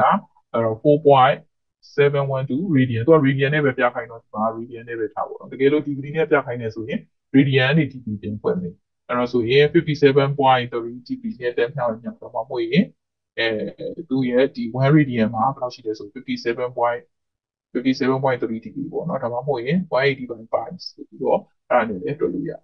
နောက်တစ်ခုကကြတော့ initial displacement ကို initial displacement ကိုကြည့်နေဆိုရင်လည်းဒီအတိုင်းပဲပေါ့နော် y equal to အဲ့ဒီ equation လေးပေါ့နော်ဒီ equation လေးကိုပြန်ရေးရေးပြီးတဲ့အခါကျဒါနောက်နောက်ရှင်းထားပြီးတဲ့ဟာကိုတန်းပြီးတော့ရေးတာပေါ့နော် အဲရလာတဲ့တန်ဖိုးပေါ့နော် y တွေ h တွေ t တွေ t t တန်ဖိုး0 h တန်ဖိုး0ထည့်ပြီးသား equation တန်ဖိုးရေးထားရေးထားပြီးတဲ့အခါကျတော့သူကနေရလာတဲ့တန်ဖိုးပေါ့နော်တွေ့လိုက်မယ်တွေ့လိုက်တဲ့အခါမှာသူက initial displacement တန်ဖိုးဘယ်လောက်ရလဲဆိုရင် minus 6ယူလို့ဆိုလို့ရတယ်နော်အဲ့တော့ number 2လေးရကြတော့လေသူရဲ့ exercise ထဲမှာရှေ့ကဒီပု္ပ္ပာရဲ့ပုံစံနဲ့အတူတူပဲ amplitude ရှာခိုင်းတယ်သူရဲ့ wavelength initial phase angle လို့နော် အောက်ကကျတော့ initial displacement လို့ဒါလေးတွေရှာခိုင်းတာပဲအဲ့အတွက်ကြောင့်မို့လို့ပုံစံ2ဖြစ်တယ်ဆိုတဲ့အတွက်ကြောင့်မို့လို့ပထမပုံစံနဲ့အတူတူပဲဒီဒီဟာလေးတွေကိုပြန်ပြီးတော့တက်ထားတယ်ပေါ့နော်နောက်တစ်ခုကတော့တရီးရကြတော့ဟောဒီသူ့ရဲ့ mass လေးပေါ့နော်အမှုလေးရဲ့ mass လေးက5 gram ရှိတယ်ဆိုပြီးပြောထားပြောထားပြီးတဲ့အခါကျ MD2 ကတော့8 cm လို့ပြောထားတယ်နော်သူ့ရဲ့ frequency က15 hertz သူက maximum velocity ဘယ်လောက်လဲ kinetic energy ဒီပုံလေးရွေ့သွားတယ်ဆိုရင် အများဆုံးရွေ့သွားတယ်ရွေ့စွမ်းပေါ့နော် maximum kinetic energy ရှာခိုင်းတယ်အဲဆိုတော့ mass တည်တယ် amplitude တည်တယ်သူ့ရဲ့ frequency hue လေးတည်တယ်ပေါ့နော်15 hertz ရှိအဲ့တော့ v maximum kinetic energy k maximum ရှာအဲဆိုရင်သူ့ရဲ့ဒီကျွေးကျွေးရှာတဲ့သူ့ရဲ့ displacement equation လေးပြန်ရေးမယ်ပေါ့နော်ဝေဒီဟာဒီ equation လေးကို y equal to a sin 2 pi into omega t minus k ဆိုပြီးတော့ရှိတယ်သူကဒီမှာက maximum velocity ကိုရှာတင်တယ်ဆိုတဲ့အတွက်ကြောင့်မို့လို့ displacement ကို velocity ပြန်လုပ်မယ်ဆို displacement ကိုဒီ time နဲ့ရှိတ်ပေါ့နော်အဲဆိုရင် v ကိုလိုချင်တယ်ဆိုရင် dy by dt အဲဆိုတော့ရလာတဲ့ y လေးပေးထားတဲ့ y တန်ဖိုးလေးကိုအဲဒီ t နဲ့ရှိတ်လို့ပေါ့နော်ရှိတ်တဲ့အခါမှာ equation လေးဒီ equation လေးရလာတယ်ရလာရဆိုရင်သူက v equal to a omega cos omega t minus k x ဆိုပြီးရှိတယ်အဲ့တော့သူကဒီမှာသူလိုချင်တာက velocity အမြင့်ဆုံးလိုချင်တယ် velocity အမြင့်ဆုံးလိုချင်တယ်ဆိုရင် ဒီ cost ကဒီ cost တန်ဖိုးက1ဖြစ်တော့မှသူ့ရဲ့ velocity အမြင့်ဆုံးဖြစ်မှာအမြင့်ဆုံးဖြစ်မယ်ဆိုတဲ့အတွက်ကြောင့်မို့လို့ဒီ cos omega t minus kx ကိုသူကဒီ1ဖြစ်အောင်လို့အဲဒီထဲမှာစားပြီးတော့မှဒီဒီနေရာလေးကို1လို့ဆိုပြီးတော့ယူလိုက်ပေါ့နော်ဒါအမြင့်ဆုံး maximum velocity ဆိုရင်နောက်ကတန်ဖိုးက1ဖြစ်ရတယ်အဲကြောင့်မို့ဒီဟာ1ဖြစ်သွားတယ်ဆိုရင်အဲဒီမှာ v equal to a omega ပေါ့နော် v maximum ဖြစ်ဖို့အတွက်က a နဲ့ omega ကိုမြောက်ချင်ရလိမ့်မယ်ပြန်မြောက် အဲဒီမြောက်လက်ကနေပြီးတော့ရရှိတယ်ပေါ့နော်နောက်ဘက်ကတန်ဖိုး1ဖြစ်မှာသူ့ရဲ့ maximum တန်ဖိုးရမယ်ပေါ့နော်အဲဆိုရင် v maximum equal to က a နဲ့ omega နဲ့เนาะ omega ဆိုတာက2 pi နဲ့တူတယ်လို့ဆိုပြီးဆိုတဲ့အတွက်ကြောင့်2 pi နေရာမှာ3.1 volt ထည့်တယ် q နေရာမှာသူပေးထားတဲ့ frequency တန်ဖိုး15 hertz ကိုထည့်လိုက်တယ်ပြန်တော့ v maximum တန်ဖိုးလေးပေါ့နော် centimeter per second ဆိုပြီးရတယ်အဲ့တော့ဒါ v maximum တိသွားပြီဒါဆိုရင် k maximum ကိုရှာလို့ရတယ် k maximum တန်ဖိုးက 1.2 mv square သူက mass လည်းပေးထားတယ်ဒီသူ့ရဲ့ v maximum တန်ဖိုးလေးရှာထားပြီးသွားပြီဆိုတော့အဲ့ညမှာစားသွင်းပြီးတော့တွက်လိုက်တယ်ဆိုရင်သူကဒီမှာတော့ usage လေးတွေကိုတတိထားပေါ့နော်ဒါတွေက CGS စနစ်နဲ့ပြောထားရဆိုတဲ့ကြောင့်မို့လို့ velocity ဆိုရင် cm per second အဲ့တော့သူက mass ကတော့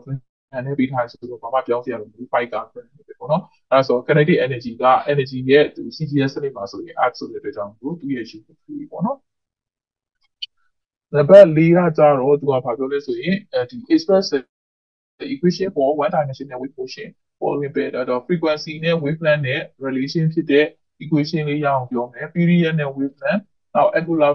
angular velocity နော် angular velocity ကို omega နဲ့ phase velocity v နဲ့ဆက်သွယ်တဲ့ equation လေးနောက် wavelength lambda နဲ့ phase velocity လေးပေါ့နော် phase velocity v လေးနဲ့အဲ lambda နဲ့ v နဲ့ဆက်ဆက်တဲ့ equation လေးတွေရအောင်လို့သူကဘာလုပ်ပေးရမလဲဆိုရင် equation လေးတွေပေါ်ပြပေးတာ အဲဆို frequency နဲ့ wavelength ဆက်ဆက်တဲ့ frequency ရော wavelength ရောပါတဲ့ equation လေးရအောင်လို့သူကဒီလိုအတွက်ကိုဒီ equation လေးတစ်ချောင်းရှာရည်အဲ့တော့ y equal to a sin omega t minus k ပေါ့နော်ဒါဆိုရင် y equal to a sin omega နေရာမှာ2 pi ထည့်တယ် t minus a နေရာမှာ2 pi မှာ lambda into x ပေါ့နော်အဲဆိုတော့ y equal to a sin ဒါဆိုရင်2 pi ကိုပုံထုတ်လိုက်တယ်ဒါဆိုရင်ဒီမှာပါကြံနေဆိုရင်အဲဒီမှာဆိုရင် t minus x lambda ဒါဆိုရင်သူက frequency ပါ frequency ရော wavelength ကိုပါတဲ့ equation တွေပေါ့နော်ဒါဆိုရင် frequency ညှို့လေးတွေပါတယ် wavelength ပါတယ်ဒီ equation လေးကိုသူရဲ့ဆက်ဆက်တဲ့အတူတူပါတယ်နှစ်ခုစလုံးပါဝင်တဲ့ equation လေးပေါ့နော်ဒါလေးနောက်တစ်ခုက period ဆိုတဲ့ t ကြီးနဲ့ wavelength lambda နဲ့ပါတဲ့ equation လေးပြန်ရေးမယ်ပြန်ရေးမယ်ဆိုရင်ဒီ equation ကိုပဲပြန်အဲ့တော့ y equal to a sin omega t minus k is ကိုရေးတယ် y equal to a sin အဲ2 omega နေရာမှာ2 pi into t minus a နေရာမှာ2 pi minus lambda into x ပေါ့နော် အဲ့တော့ဒီမှာဆိုရင် y equal to a sin ဒီမှာ2 pi ကိုပို့ထုတ်လိုက်တယ်2 pi ကိုပို့ထုတ်2 pi ကိုအဲ2 pi ကိုပို့ထုတ်လိုက်တယ်ဆိုရင်ဒီမှာဆိုရင် q ဆိုတာလေးပဲ q t ဆိုတာကျန်ပြီပေါ့နော်အဲ့ဒါဆိုတော့ q က 1/t နဲ့တူတယ်ဒါကြောင့်မို့လို့ q နေရာမှာ 1/t လို့ထည့်လိုက်တဲ့အခါကျတော့ t by t ကြီးပေါ့နော် minus ဒီကောင်လေးမှာကျတော့ h by lambda လေးကျန်အဲ့ဆိုတော့ period t ရော wavelength ရောပါတဲ့ equation တွေပေါ့နော်ဒါတွေတွေ့လို့ရမယ်နောက်တစ်ခုကတော့ သူက angular frequency angular velocity လို့လည်းခေါ် angular angular velocity omega လေးနဲ့ phase velocity v လေးနဲ့ဆက်သွယ်တဲ့ dt အဲ့ဒါလေးပါတယ်အခုစလုံးပါတဲ့ relation ပါတဲ့ equation လေးယူခိုင်းအဲဆိုအဲ့ဒါ equation ရဲ့ equation ပဲပြန်ယူမယ်အဲ့တော့သူက angular velocity omega ပါတဲ့ဟာလေးလိုချင်တယ်ဆိုတော့ကျွန်တော် omega လေးကိုမဖြစ်ဘူးပေါ့နော်ဒါပေမဲ့ phase velocity ဖြစ်နေပြောင်း phase velocity v လေးပါတဲ့ဟာလေးကိုလည်းလိုချင်တယ်လူကျင်ဆိုတော့ဒီနောက်ဘက်ကဟာလေးကိုပြောင်းသွားပြောင်းသွားမယ်ဆို k နေရာမှာ2 pi minus into x ပေါ့နော်နောက်ခါကျတော့ lambda lambda နေရာမှာ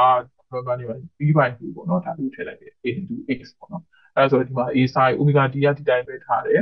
အဲ့တော့ဒီမှာဆိုရင်အဲ့တော့2 pi ဒီပေါ့ဒီပေါ်လေးတွေ2 pi က omega နဲ့တူတယ်2 pi နေရာမှာ omega ထည့်တဲ့အောက်က b ပေါ့နော် into x အဲကြောင့်မို့လို့ angular angular velocity omega လေးနောက် phase velocity v လေးနဲ့အကုန်လုံးအဲသူ့ရဲ့ဒီဟာလေးတွေဒီ equation ထဲမှာပါဝင်တဲ့ equation တွေကြောင့်ပေါ့နော်ဒါလေးပြောပြတာအဲ့တော့ phase velocity လို့လည်းခေါ်ရ wave velocity လို့လည်းခေါ်ရ v ကဘာနဲ့တူလဲဆို omega by k နဲ့တူတယ်တဲ့နောက်ဆိုအဲ့တော့ဒါမျိုးပြောထားရပါတော့ဒီ v v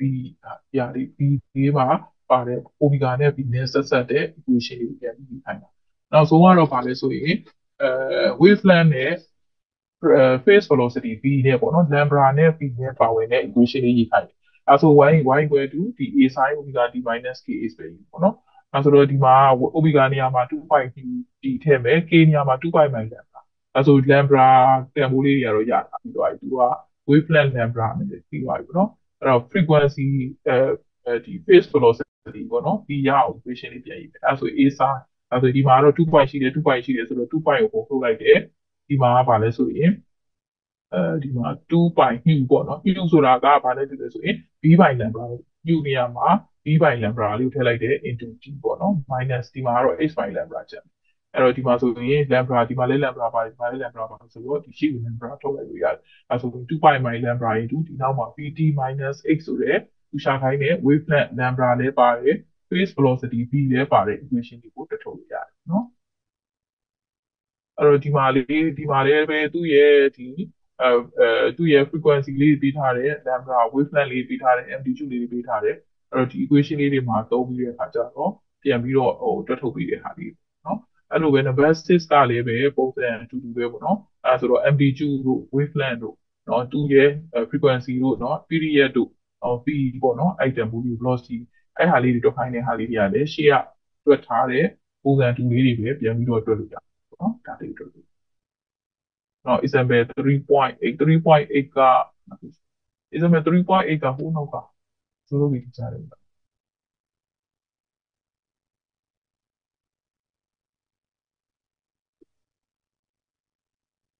ခဏထားလိုက်ပြီး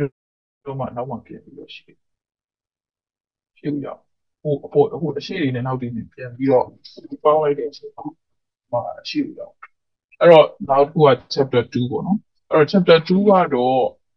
ဘာလဲဆိုရင် superposition of weight line တွေထပ်နော် superposition အဲ့ဒါဆိုတော့ principal superposition ဆိုတာဘာလဲအဲ့ဆိုရင် Thomas Young ကနေပြီးတော့မှပိုင်းတွေနော်သူဖြတ်ပေါင်းခြင်း theory တွေကိုသူကပေါ်ပြခဲ့တယ်အဲ့တော့သူရဲ့ဒီရွေ့ထားတဲ့ဒီအပေအမှတ်မှာမဆိုပေါ့နော်ရွေ့ထားတဲ့ resultant displacement တွေစုစုပေါင်းလက်က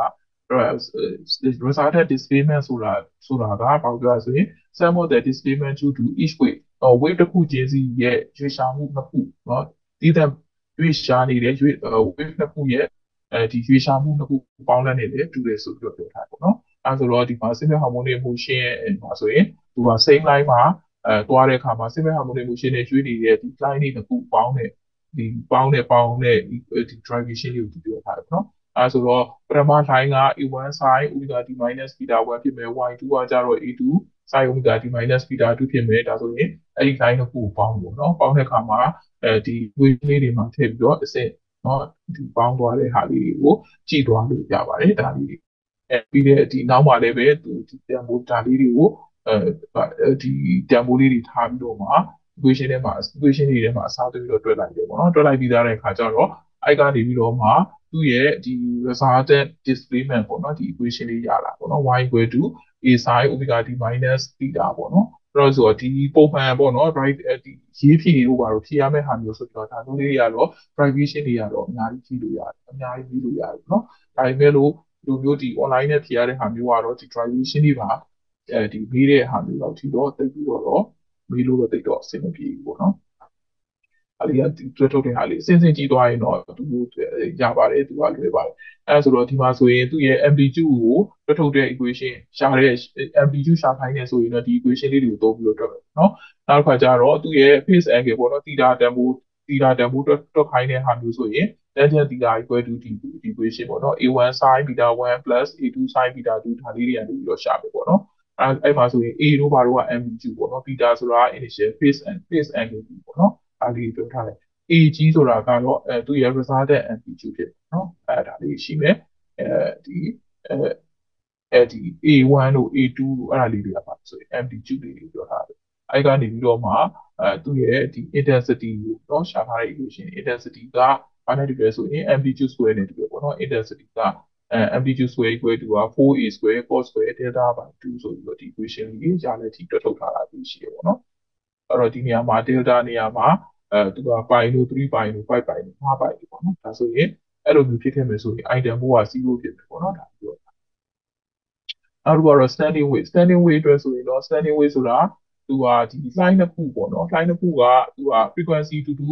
amplitude တူတူနဲ့သူကသွားနေတယ်ဒါပေမဲ့လို့သူကသွားတဲ့သွားတဲ့ direction ကတော့ဘာဖြစ်လဲဆို opposite direction ပေါ့နော်ကျိုးလေးကိုအဲဒီ standing weight သဘောတရားလေးကိုပြောထားဆိုရင်ဒီမှာကျိုးလေးကို fix ပြအောင်လို့ဒီဘက်မှာချီထားမယ်ဒီကနေပြီးတော့ ဒီ vibrate ပြအောင်ကျိုးလေးကိုတွဲလိုက်မယ်ဆိုရင်သူကနေပြီးတော့သွားမယ်ပြန်မယ်ပေါ့နော်သွားနေပြန်နေတာသူက opposite direction အတိုင်းတော့ရွေ့နေပဲဒါပေမဲ့ frequency လည်းတူမယ် amplitude လည်းတူတဲ့ဟာတူတဲ့အနေနဲ့သူကဖြစ်ပေါ်လာတဲ့ဟာပေါ့နော်အဲ့ဒါအဲ့ဒီ resultant wave တွေဖြစ်ပေါ်လာတဲ့ကောင် standing wave ပေါ့အဲ့ဒါဆိုတော့ဒီ equation လေးမှာဆိုရင်အဲဒီမှာ equal frequency ဖြစ်မယ် equal amplitude ဖြစ်မယ်အဲဒါပေမဲ့ရွေးတဲ့အရွေးကတော့ opposite direction အတိုင်းရွေးမယ်ဆိုရင်သူ့မှာဆိုရင်ပထမ equation လေးကို omega t minus k ဆိုယူမယ်ဆိုရင်နောက် direction မတူဘူးဆိုတဲ့အတွက်ကြောင့်မို့လို့ opposite direction အတွက်ဆိုရင် omega t plus k ဆိုပြီးတော့ပေါ့နော်ဒီကြားလေးပြီးတော့မှသူ့ရဲ့ရရှိတဲ့ resultant ပေါ့နော် standing weight တန်ဖိုးလေးပေါ့နော်တွက်ထုတ်ထားတာ y equal to 2a cos minus ka sin omega t ဆိုပြီးတော့ဒါလေးရမယ်နော်တကယ်လို့ ka နေရာမှာ0တို့ပိုင်းတို့2ပိုင်းတို့ဖြစ်ခဲ့မယ်ဆိုရင်သူက maximum amplitude တန်ဖိုးရမယ်ပေါ့နော် 2a ဆိုပြီးတော့တကယ်လို့ ka နေရာမှာ 5.2ကို3.2ကို5.2ကိုစတဲ့အဲ့နေရာမှာဒီတန်ဖိုးလေးတွေဖြစ်ခဲ့မယ်ဆိုရင်တော့ amplitude တန်ဖိုးက0ပြောတာပေါ့နော် vanish ဖြစ်သွားမယ်ပြောတာရယ်အဲ့ဒါဆိုတော့ဒီကအဲ့တော့ဒီမှာဆိုရင်ဒီ position မှာဆိုရင် vanish ဖြစ်သွားတယ်ဒီမဲ့ဆိုတော့ဒီဟာသူကပါလို့ဆိုရင် note ပေါ့နော်အဲ့ဒါဆိုတော့ line လေးတွေမှာဆိုရင် standing wave မှာဆိုရင်သူ့ရဲ့အမြင့်ဆုံးအမြင့်ဆုံးတော့တွေ့ဒီ maximum position နေရာမှာအဲ့နေရာမှာရှိနေတဲ့ကောင်ကို anti node ဖြစ်ပေါ်မယ် အဲ့မှာဆိုရင်အဲဒီနေရာလေးပေါ့နော် node ငြိမ်နေတဲ့အမှတ်တွေပေါ့နော် stationary ဖြစ်နေတဲ့ကောင်0ဖြစ်တဲ့နေရာ vanish ဖြစ်သွားတဲ့နေရာအဲ့ဒါလေးကိုတော့ node လို့ဆိုပြီးတော့ခေါ်တယ်နော်အဲ့တော့ဒီမှာ node က node ဆိုတာကဒီ resultant displacement တန်ဖိုး0ဖြစ်သွားတယ်ကောင် node လေးအဲ့တော့အဲ့ဒါကို node လို့ခေါ်မယ် anti node ဆိုတာကတော့သူကအမြင့်ဆုံးနော် displacement အမြင့်ဆုံးအမြင့်ဆုံးသွားနေတဲ့အခြေအနေမှာရှိတဲ့ကောင်လေးကို anti node လို့ခေါ်မယ်လို့ပြောထားတယ်ပေါ့နော်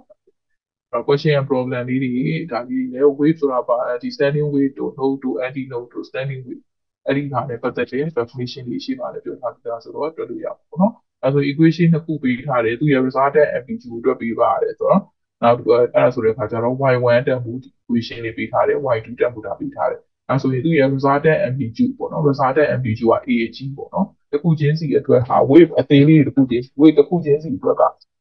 separated ဖြစ်နေတဲ့တခုချင်းစီ individual တခုချင်းစီအတွက် amplitude က A လေးနဲ့သတ်မှတ်တယ် resultant အတွက်က AG နဲ့သတ်မှတ်တယ် AG ဘယ်လောက်လဲနောက်တစ်ခါကျတော့ initial phase angle ပေါ့နော်ဒီလာတန်ဖိုးဘယ်လောက်လဲ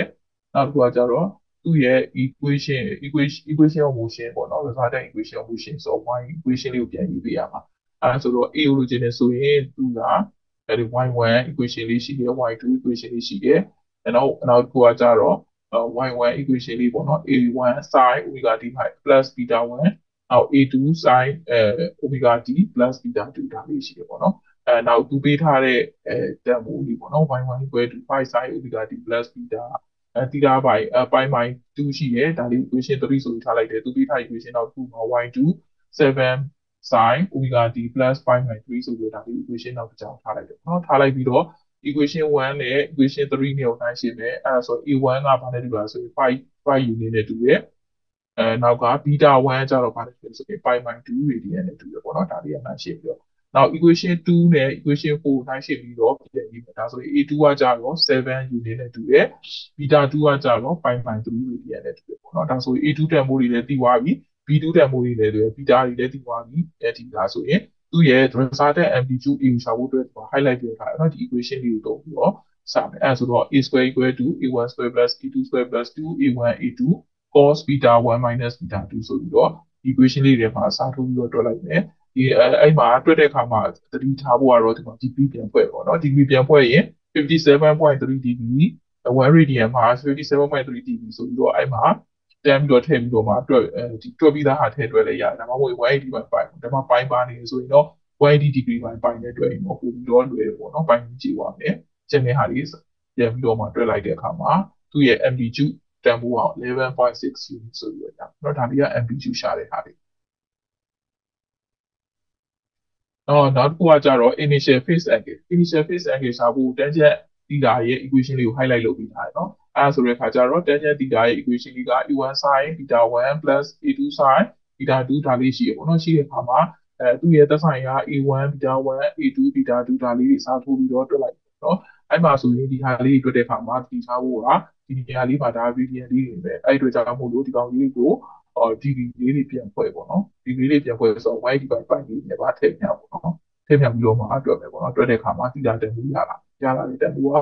72.44 degree ဆိုပြီးတော့ရနောက်တစ်ခုကတော့အဲ့ဒီတန်ဖိုးလေးတိတာတန်ဖိုးလေးတည်သွားပြီရှေ့မှာရှာထားတဲ့အဲ့ဒီ A တို့ဘာလို့လဲတန်ဖိုးလေးတွေတည်သွားတည်သွားပြီဆိုရင်သူ့ရဲ့ equation ကို equation ကို motion equation လေးကိုပြန်ပြီးရေးခိုင်းတာဒီခိုင်းနေဆိုရင်သူ့ရဲ့ equation ဟာ y equal to a sin omega t plus theta ဆိုပြီးတော့ a နေရာမှာရှိရရှာထားလို့ရတယ်11.6လေးထည့်မယ်အဲပြီးရင် sin omega t plus theta နေရာမှာရှာထားလို့ရတယ်72.44 degree ကိုထည့်ပြီးတော့ဒီ equation လေး y equal to ဒီ equation လေးရေးပြီးပြန်ပြီးတော့ရေးပြရမှာပေါ့နော်နံပါတ် C လေးอ่ะ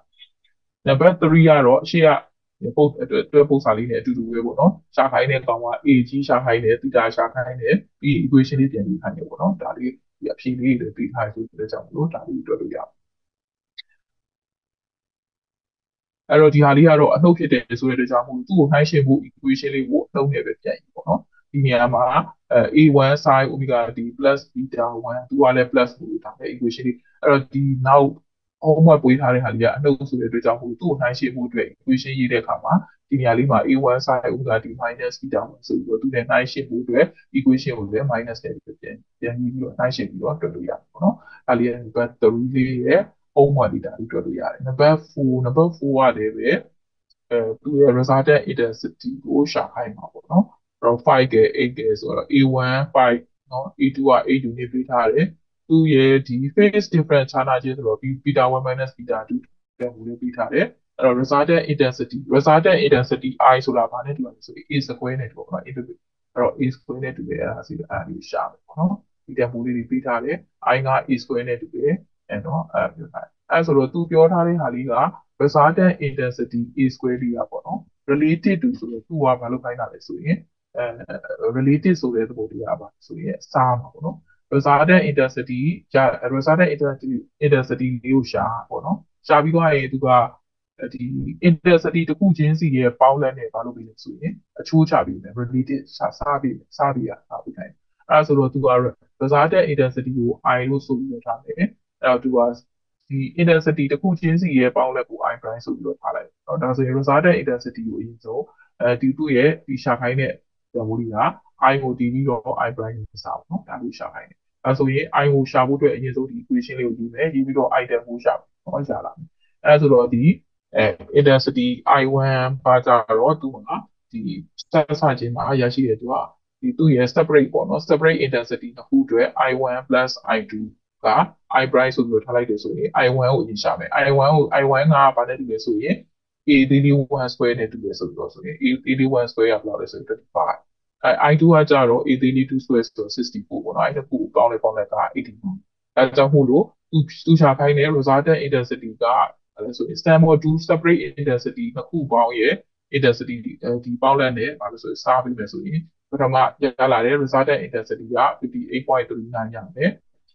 သူရဲ့ဒီနှစ်ခုပေါင်းလက်ကကြတော့89ဆိုပြီးရပဲဒါလေးကိုစားလို့ရတယ်အချို့ကချို့ချပြီးတော့မှစားလို့ရတဲ့တက်က0.66ဆိုပြီးရပါတော့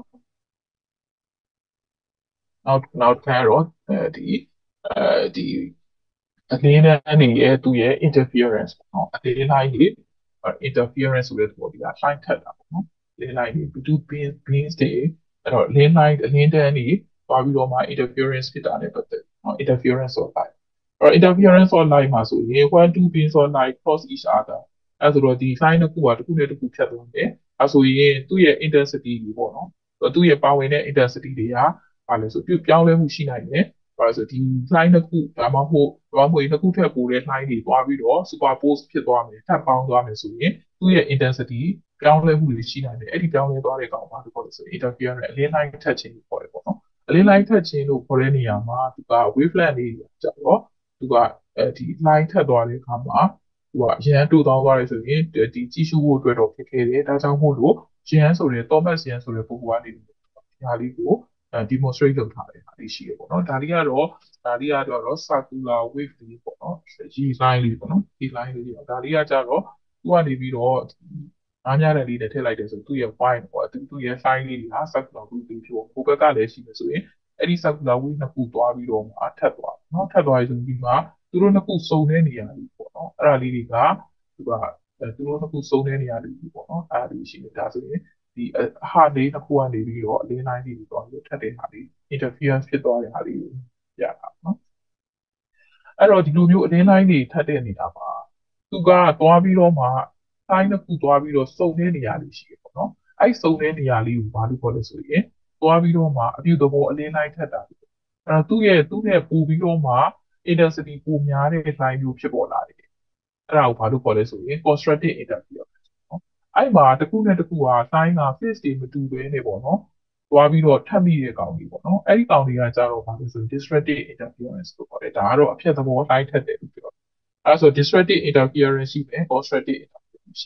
အဲ့တော့ distracted interference ဖြစ်သွားတာဘာဖြစ်လို့ဆိုသူ့ရဲ့ resultant intensity တန်ဖိုး0ဒါမှမဟုတ်ရင် negative intensity ထက်နေတဲ့ကောင်ရနော်အဲ့ဆိုတော့ဒီမှာဆိုရင်သူ့မှာ sign လေးတွေမှာဆိုရင်သူကသွားတဲ့အခါမှာသူကဒီမှာဆိုရင်အခွက်ရှိမယ်အပုံရှိမယ်ပေါ့နော်အဲဆိုရင်သူ့ရဲ့ line ခွက် line ထိပ် line ခွက်နော် line ထိပ်ဒါလေးရှိတယ်အဲဆိုရင်သူက line နှစ်ခုကသူကဒီမှာဆိုရင် line ခွက် line ခွက်ချင်း line ထိပ် line ထိပ်ချင်းပူပေါင်းသွားတယ်ဆိုရင်သူက သူ့ထက်ပိုပြီးတော့မှတန်ဖိုးများတယ်ဒီမှာ2ဒီမှာ2ရှိတယ်ဆို4ပေါ့နော်တန်ဖိုးရတယ်ဒီမှာ2ဒီမှာ2ဆို4ပေါ့နော်ရလာတဲ့ဒီ resultant တန်ဖိုးကသူ့ရဲ့ငကိုဟာထက်ပိုပြီးတော့များတဲ့တန်ဖိုးရတယ်အဲ့ဒါကိုဘာလို့ခေါ်လဲဆို constructive interference constructive interference ဆိုတာသူ့ရဲ့ resultant intensity က greater than the separate တခုချင်းစီရဲ့တန်ဖိုးထက်ပိုများတဲ့တန်ဖိုးရတယ် constructive interference ဖြစ်သွားဒီ line လေးမှာဆိုရင်ကြည့်မယ်ဆိုရင်သူ့ line တစ်ခုသွားပြီးတော့စုံတဲ့နေရာလေးကအဲ့ဒါ constructive ဖြစ်တဲ့နေ နော်နောက်တစ်ခုကတော့သူက line ထိပ်နဲ့ line ခွဲ line ခွဲနဲ့ line ထိပ်ဒါမျိုးဆိုရင်သူကတစ်ခုနဲ့တစ်ခုကဘာဖြစ်သွားမလဲကြေသွားမယ်နော်ကြေသွားမယ်ဆိုတဲ့အတွက်ကြောင့်မို့လို့သူရလာတဲ့ line က intensity က0ဖြစ်သွားရင်ဖြစ်သွားမယ်ဒါမှမဟုတ်ရင်လည်းအနည်းငယ်ပဲသွားထက်တယ်ဆိုရင်သူ့ထက် intensity ပိုနှိမ့်တဲ့အကောင်ကြီးပဲရတယ်ဆိုတဲ့အတွက်ကြောင့်မို့ဒီလိုတိုင်းထက်ခြင်းတွေဘာလို့ခေါ်လဲဆိုရင် distracted interference ပေါ့နော်နောက်တစ်ခုကတော့ wavefront wavefront ဆိုတာသူ wavefront ဆိုတာလှိုင်းမျက်နှာစာလို့ခေါ်တယ်အဲ့တော့ဆိုတော့ နောက်တစ်ခုက diffraction လှိုင်းကွေတာတွေဘယ်လိုဖြစ်မလဲနောက် high frequency တွေအောင်ဘယ်လိုလုပ်တာပေါ့နော်အဲ့တော့ wavefront ဆိုတာကတော့သူကဒီမှာတိုင်းလေးတွေကသူကတစ်ခုနဲ့တစ်ခုကထပ်သွားရတယ်ဆိုရင်ရေးတိုင်းဆိုရင်ပေါ့နော်တစ်ခုနဲ့တစ်ခုထပ်သွားတယ်ထပ်သွားရတယ်ဆိုရင်လည်းပဲသူကအဲလှိုင်းလေးတွေရလာတဲ့ကောင်လေးတွေမှာသူကဒီက face အတူတူပေါ့နော်အခုံးဆိုအခုံးဖွဲ့ဆိုဖွဲ့သွားပြီးတော့ဒီ line လေးတွေဖြစ်ပေါ်ပါတယ်ဖြစ်ပေါ်နေရဆိုရင်ဒီအခုံးတွေတူညီတဲ့ face တွေပေါ့နော်တူညီတဲ့မျက်နှာပြင်မျက်နှာစာပေါ့နော်အဲ့ဒီမှာမျက်နှာပြင်ကိုဆက်ပြီးတော့ဆွဲလိုက်တယ် နော်ဒီသူ့ရဲ့ local point လေးဆက်ပြီးဆွဲလိုက်တဲ့ဟာလေးအဲဆိုရင်ဒီမှာဒီမှာဆိုရင်လည်းအဲဆက်ပြီးဆွဲထားတဲ့ဒီပေါ့နော်အဲဆိုတော့အဲ့ဒီမြေလေးကဘာဆို continuous surface ဒီမျက်နှာစာကိုသူကဆက်ပြီးတော့ဆွဲထားတာကို that is locus of point where the particles are in phase in phase ဖြစ်နေတဲ့မျက်နှာပြင်မှာတွားပြီးတော့သူကမြင်းတဲ့အောင်ဆွဲထားပေါ့နော် continuous surface ဖြစ်အောင်မြင်းတဲ့လေးဆွဲထားအဲ့ဒီဆွဲထားတဲ့ဟာကိုဘာလို့ခေါ်လဲဆိုရင် wave front နှိုင်းမျက်နှာစာလို့ခေါ်တယ် တကယ်လို့ကိုကဒီနေရာမှာဆွဲထားတာလေ wave frame ဒီကြားထဲမှာဆွဲပြီဆိုရင်တူညီတဲ့ဟာချင်းချင်းဆွဲထားဆိုဒါလည်း wave frame ဒီဘက်ကြားမှာဆွဲပြီဆိုရင် wave frame ဒါပေမဲ့တူတဲ့ဟာချင်းချင်းပေါ့နော်ဒီဘက်မှာဒီဒီဘက်မှာဒါလေးဆွဲတယ်ဆိုရင်နောက်တစ်ဘက်မှာလည်းဒီဘက်မှာဆွဲပေါ့နော်အဲ့လိုမျိုးကြားပေါ့နော်အဲ့လိုမျိုးတွေရှိတယ်ဒါလေးတွေကိုဘာလို့ခေါ်လဲဆိုရင် wave frame နှိုင်းနေတဲ့စာလို့ပေါ့အဲ့တော့ဒီဟာလေးကကြတော့ဒီအဲဒီ wave frame လေးတွေကိုသူက circle circle လေးနဲ့လေသူကဖော်ပြထားတယ်ပေါ့နော်ဒါလေးဆိုရင်သူက swine mode glide ဒီသူ့ရဲ့လှိုင်းရွေးတဲ့ဟာလေးကိုစဝိုင်းနဲ့ကူစားပြီးပေါ်ပြထားတာပေါ့နော်ဒါလေးဆိုရင်ပထမတီဆိုတဲ့နေရာနေပြီးတော့နောက်ထပ်ထပ်ပြီးတော့ဖြစ်ပေါ်လာတဲ့ဟာဆိုရင်နောက်ထပ် line တစ်ခုဖြစ်ပေါ်လာတဲ့ကောင် we brand လေးအချိန်နောက်ထပ် delta t ဆိုတဲ့အချိန်မှာထပ်ဖြစ်ပေါ်လာတဲ့ဟာဒီစာကလေးနဲ့သူက event လေးနဲ့ပေါ်ပြထားတာပေါ့နော်အဲ့တော့ဒီ line လေးတွေမှာအဲတကူတိဖို့ကတော့ဒီ wave front လေးနဲ့ဒီ line လေးရွေ့သွားတယ်ဆိုရင် line ရွေ့သွားတဲ့ velocity ပေါ့နော် line ရွေ့သွားတဲ့ direction ပေါ့နော်အဲ့ဒီကောင်လေးနဲ့ဒီ wave front လေးနဲ့ wave front လေးရှိမှာပေါ့နော် အဲ wave front လေးရှိတဲ့ကောင်လေးကတော့အမြဲတမ်း perfect တောင်းမှကြတယ်နော်နောက်တစ်ခုကကြတော့ဒီ wave front တစ်ခုကြားကွာဝေးလေးကဘာလို့ပြောလဲဆိုရင် line line တရား wave front လေးပဲအဲဆိုသူကဒီမှာ line ထိပ်နှစ်ခုကိုဆက်ပြီးဆွဲထားတယ်ဟာ wave front လည်းပါ wave front လည်းပါဆို lambda လည်းပါဆိုရင် line ထိပ်နှစ်ခုကြားကွာဝေးရတယ် wave front လို့ပြောတာဒါကြောင့်မို့လို့ဒီ wave front နှစ်ခုကြားအကွာဝေးရတယ်ဘာနဲ့တူလဲဆိုရင် wave wave front lambda နဲ့ပေါ့နော်အဲနောက်တစ်ခုကကြတော့ဒီမှာ အဲ wave လေးတွေဖြစ်ပေါ်လာတဲ့အခါမှာပေါ့နော်ဒါလေးတွေကကြတော့သူကဒီဒီမှာ wave front လေးဖြစ်ပေါ်လာတယ် line လေးထပ်သွားတဲ့အခါမျက်နှာစာလေးဆက်ပြီးဆွဲထားတဲ့ wave front ပေါ့အဲ့တော့ဒီနေရာမှာဒီနံရံလေးမှာဒီဟိုဒီမှာဒီမှာအပေါက်လေးပေါ့နော်ဟာလေးတစ်ခုရှိမယ်ဆိုရင်အဲ့ဒီ line တွေကပါလို့ဆိုရင်ဒီထဲဝင်လာတဲ့ခါမှာ line လေးတွေကပါလို့ဆို different ဖြစ်သွားပွေသွားတယ် direction change မှာပြီးတော့ different ဖြစ်သွားတာကိုတွေ့ရအောင်နော်အဲ့ဒါကို line ပွေခြင်းလို့ခေါ် diffraction အဲ့တော့ one way pass through a aperture ဒီအဟာလေးပဲဖြစ်ဖြစ်အဲ့တော့ဒီမှာဆိုရင် a short there obstacle အဲ့ဆိုတော့တောင်ချိုးလေးပဲဖြစ်ဖြစ်ပေါ့နော်အဲ့နေရာကိုသွားမယ် line ရသွားမယ်ဆိုရင် we separate to some extent into region အဲ့ကနေပြီးတော့ line တွေကပြတ်သွားမယ် which is not directly exposed to the camera အဲ့တော့လာတဲ့ကောင်နဲ့တိုက်ရိုက်မဟုတ်ဘဲနဲ့သူကနေပြီးတော့ line တွေ꿰သွားတာမျိုးတွေ့ရနေတယ်အဲ့လိုမျိုး꿰သွားတာကိုဘာလို့ခေါ်လဲဆိုရင် diffraction လို့ခေါ်တယ်ပေါ့နော် အဲ့ဒါဆိုတော့ဒါဘာကြောင့်လဲဆိုရင် line ရဲ့ banding ပေါ့နော်အလင်းအလင်းက꿰သွားတာကိုတွေ့ရတယ်နော်အဲ့တော့ဒီမှာ wave front လေးတွေပြောထားတယ်ဆိုရင်ဒီကထင်းနေတဲ့နေရာလေးတွေက line ထိတ်တဲ့နေရာလေးဖြစ်ပြီးတော့မှဒီကဟာလေးနေရာလေးကကြတော့လွတ်နေတဲ့နေရာလေးကကြတော့ wave draw ပေါ့နော် line ခွက်နေရာလေးဖြစ်တယ်ပေါ့နော်နောက်တစ်ခု Huygens principle ပေါ့နော် Huygens ကကြတော့ဘာပြောလဲဆိုရင် principle may be stated in three parts နော် သူရဲ့ဒီ principle ကပိုင်း၃ပိုင်းပေါ့နော်ပထမတစ်ပိုင်းကတော့ every point on the given wavefront may be regarded as the source of the new disturbance for second အဲ့တော့သူကနေပြီးတော့ file လေးတွေလာနောက်ထပ်နောက်ထပ် disturbance သူ့ရဲ့အနောက်ရှက်တစ်ခုထပ်ပြီးတော့အဲ disturbance တစ်ခုရှိရဆိုရင်ထပ်ပြီးတော့မှ secondary wavelet တွေဆက်ပြီးတော့ဖြစ်ပေါ်လာတယ်အဲ့တော့ secondary spherical wavelet တွေကကြတော့သူကတစ်ခုချင်းစီတစ်ခုချင်းစီမှာ separate out ပြန့်နှံ့သွားမယ်ဆိုရင်လည်းသူကအသီးသီး သူ့ရဲ့ဗာလဲဆိုရင် all direction နေရာအနှံ့ကိုသူပြန့်နှံ့မယ် velocity of light နဲ့သူကပြန့်နှံ့မယ်နော်အဲ့တော့ဒီမှာဆိုရင်သူ့ရဲ့အဲဒီ wavelet line လေးတွေရဲ့ဟိုဟာလေးကို envelope လေးတွေပေါ့နော်ဒီမှာဆိုရင်အဲဆိုသွားတဲ့အခါမှာ forward direction at any instant gives the new wavefront at the instant အဲဆိုတော့သူရှေ့မှာဒီ line လေးတွေကအဲ line လေးတွေကသူကပထမ original wavefront wavefront ရှိမယ်အဲ့မှာနောက်ထပ်ထပ်ပြီး disturbance ဖြစ်တယ်ဆိုရင်ထပ်ခါထပ်ခါသူ့ရဲ့ရှေ့ဆက်ပြီးတော့မှသူ့ရဲ့နောက်ထပ် forward direction ဘက်ကိုသွားပြီးတော့မှဒီအချိန်ဒီဒီ instant time အတွင်းမှာထပ်ထပ်ထပ်ဆင်ပြီးတော့မှဖြစ်ပေါ်လာတာပေါ့နော် wave friend လေးတွေထပ်ဆင်ပြီးတော့ secondary wave friend not is new wave friend လေးတွေထပ်ဆက်ဆင်ပြီးတော့သွားတာကိုတွေ့ရမယ်နော်ဒါကြီးကသူ့ရဲ့ principle ကသုံးခုပြောထားတယ်အဲ့တော့ yan ကတော့ yan experiment ကတော့သူက slit နှစ်ခုပေါ့နော်အဟာနှစ်ခုမှာသူကရှေ့ကနေပြီးတော့ source တစ်ခုရှိမယ်အဲ light source ပေါ့နော် single stick ကနေပြီးတော့အလင်းကပေးလိုက်တယ်ပေးလိုက်ပြီးသွားရင်အဲ့ကနေပြီးတော့ slit နှစ်ခုကြားမှာအလင်းနဲ့ဖြတ်စီပါဖြတ်စီရဆိုရင်ပထမအဟာနေလာ line ရှိမယ်ဒုတိယအဟာနေလာတဲ့ line ရှိမယ်အဲ့နှစ်ခုမှာထပ်သွားတဲ့အခါမှာ constructed နေရာဖြစ်ထပ်သွားတာလည်းရှိမယ် distracted နေရာဖြစ်လည်းထပ်သွားတာရှိမယ်အဲ့ဒါလေးကိုဘာနဲ့ဘာနဲ့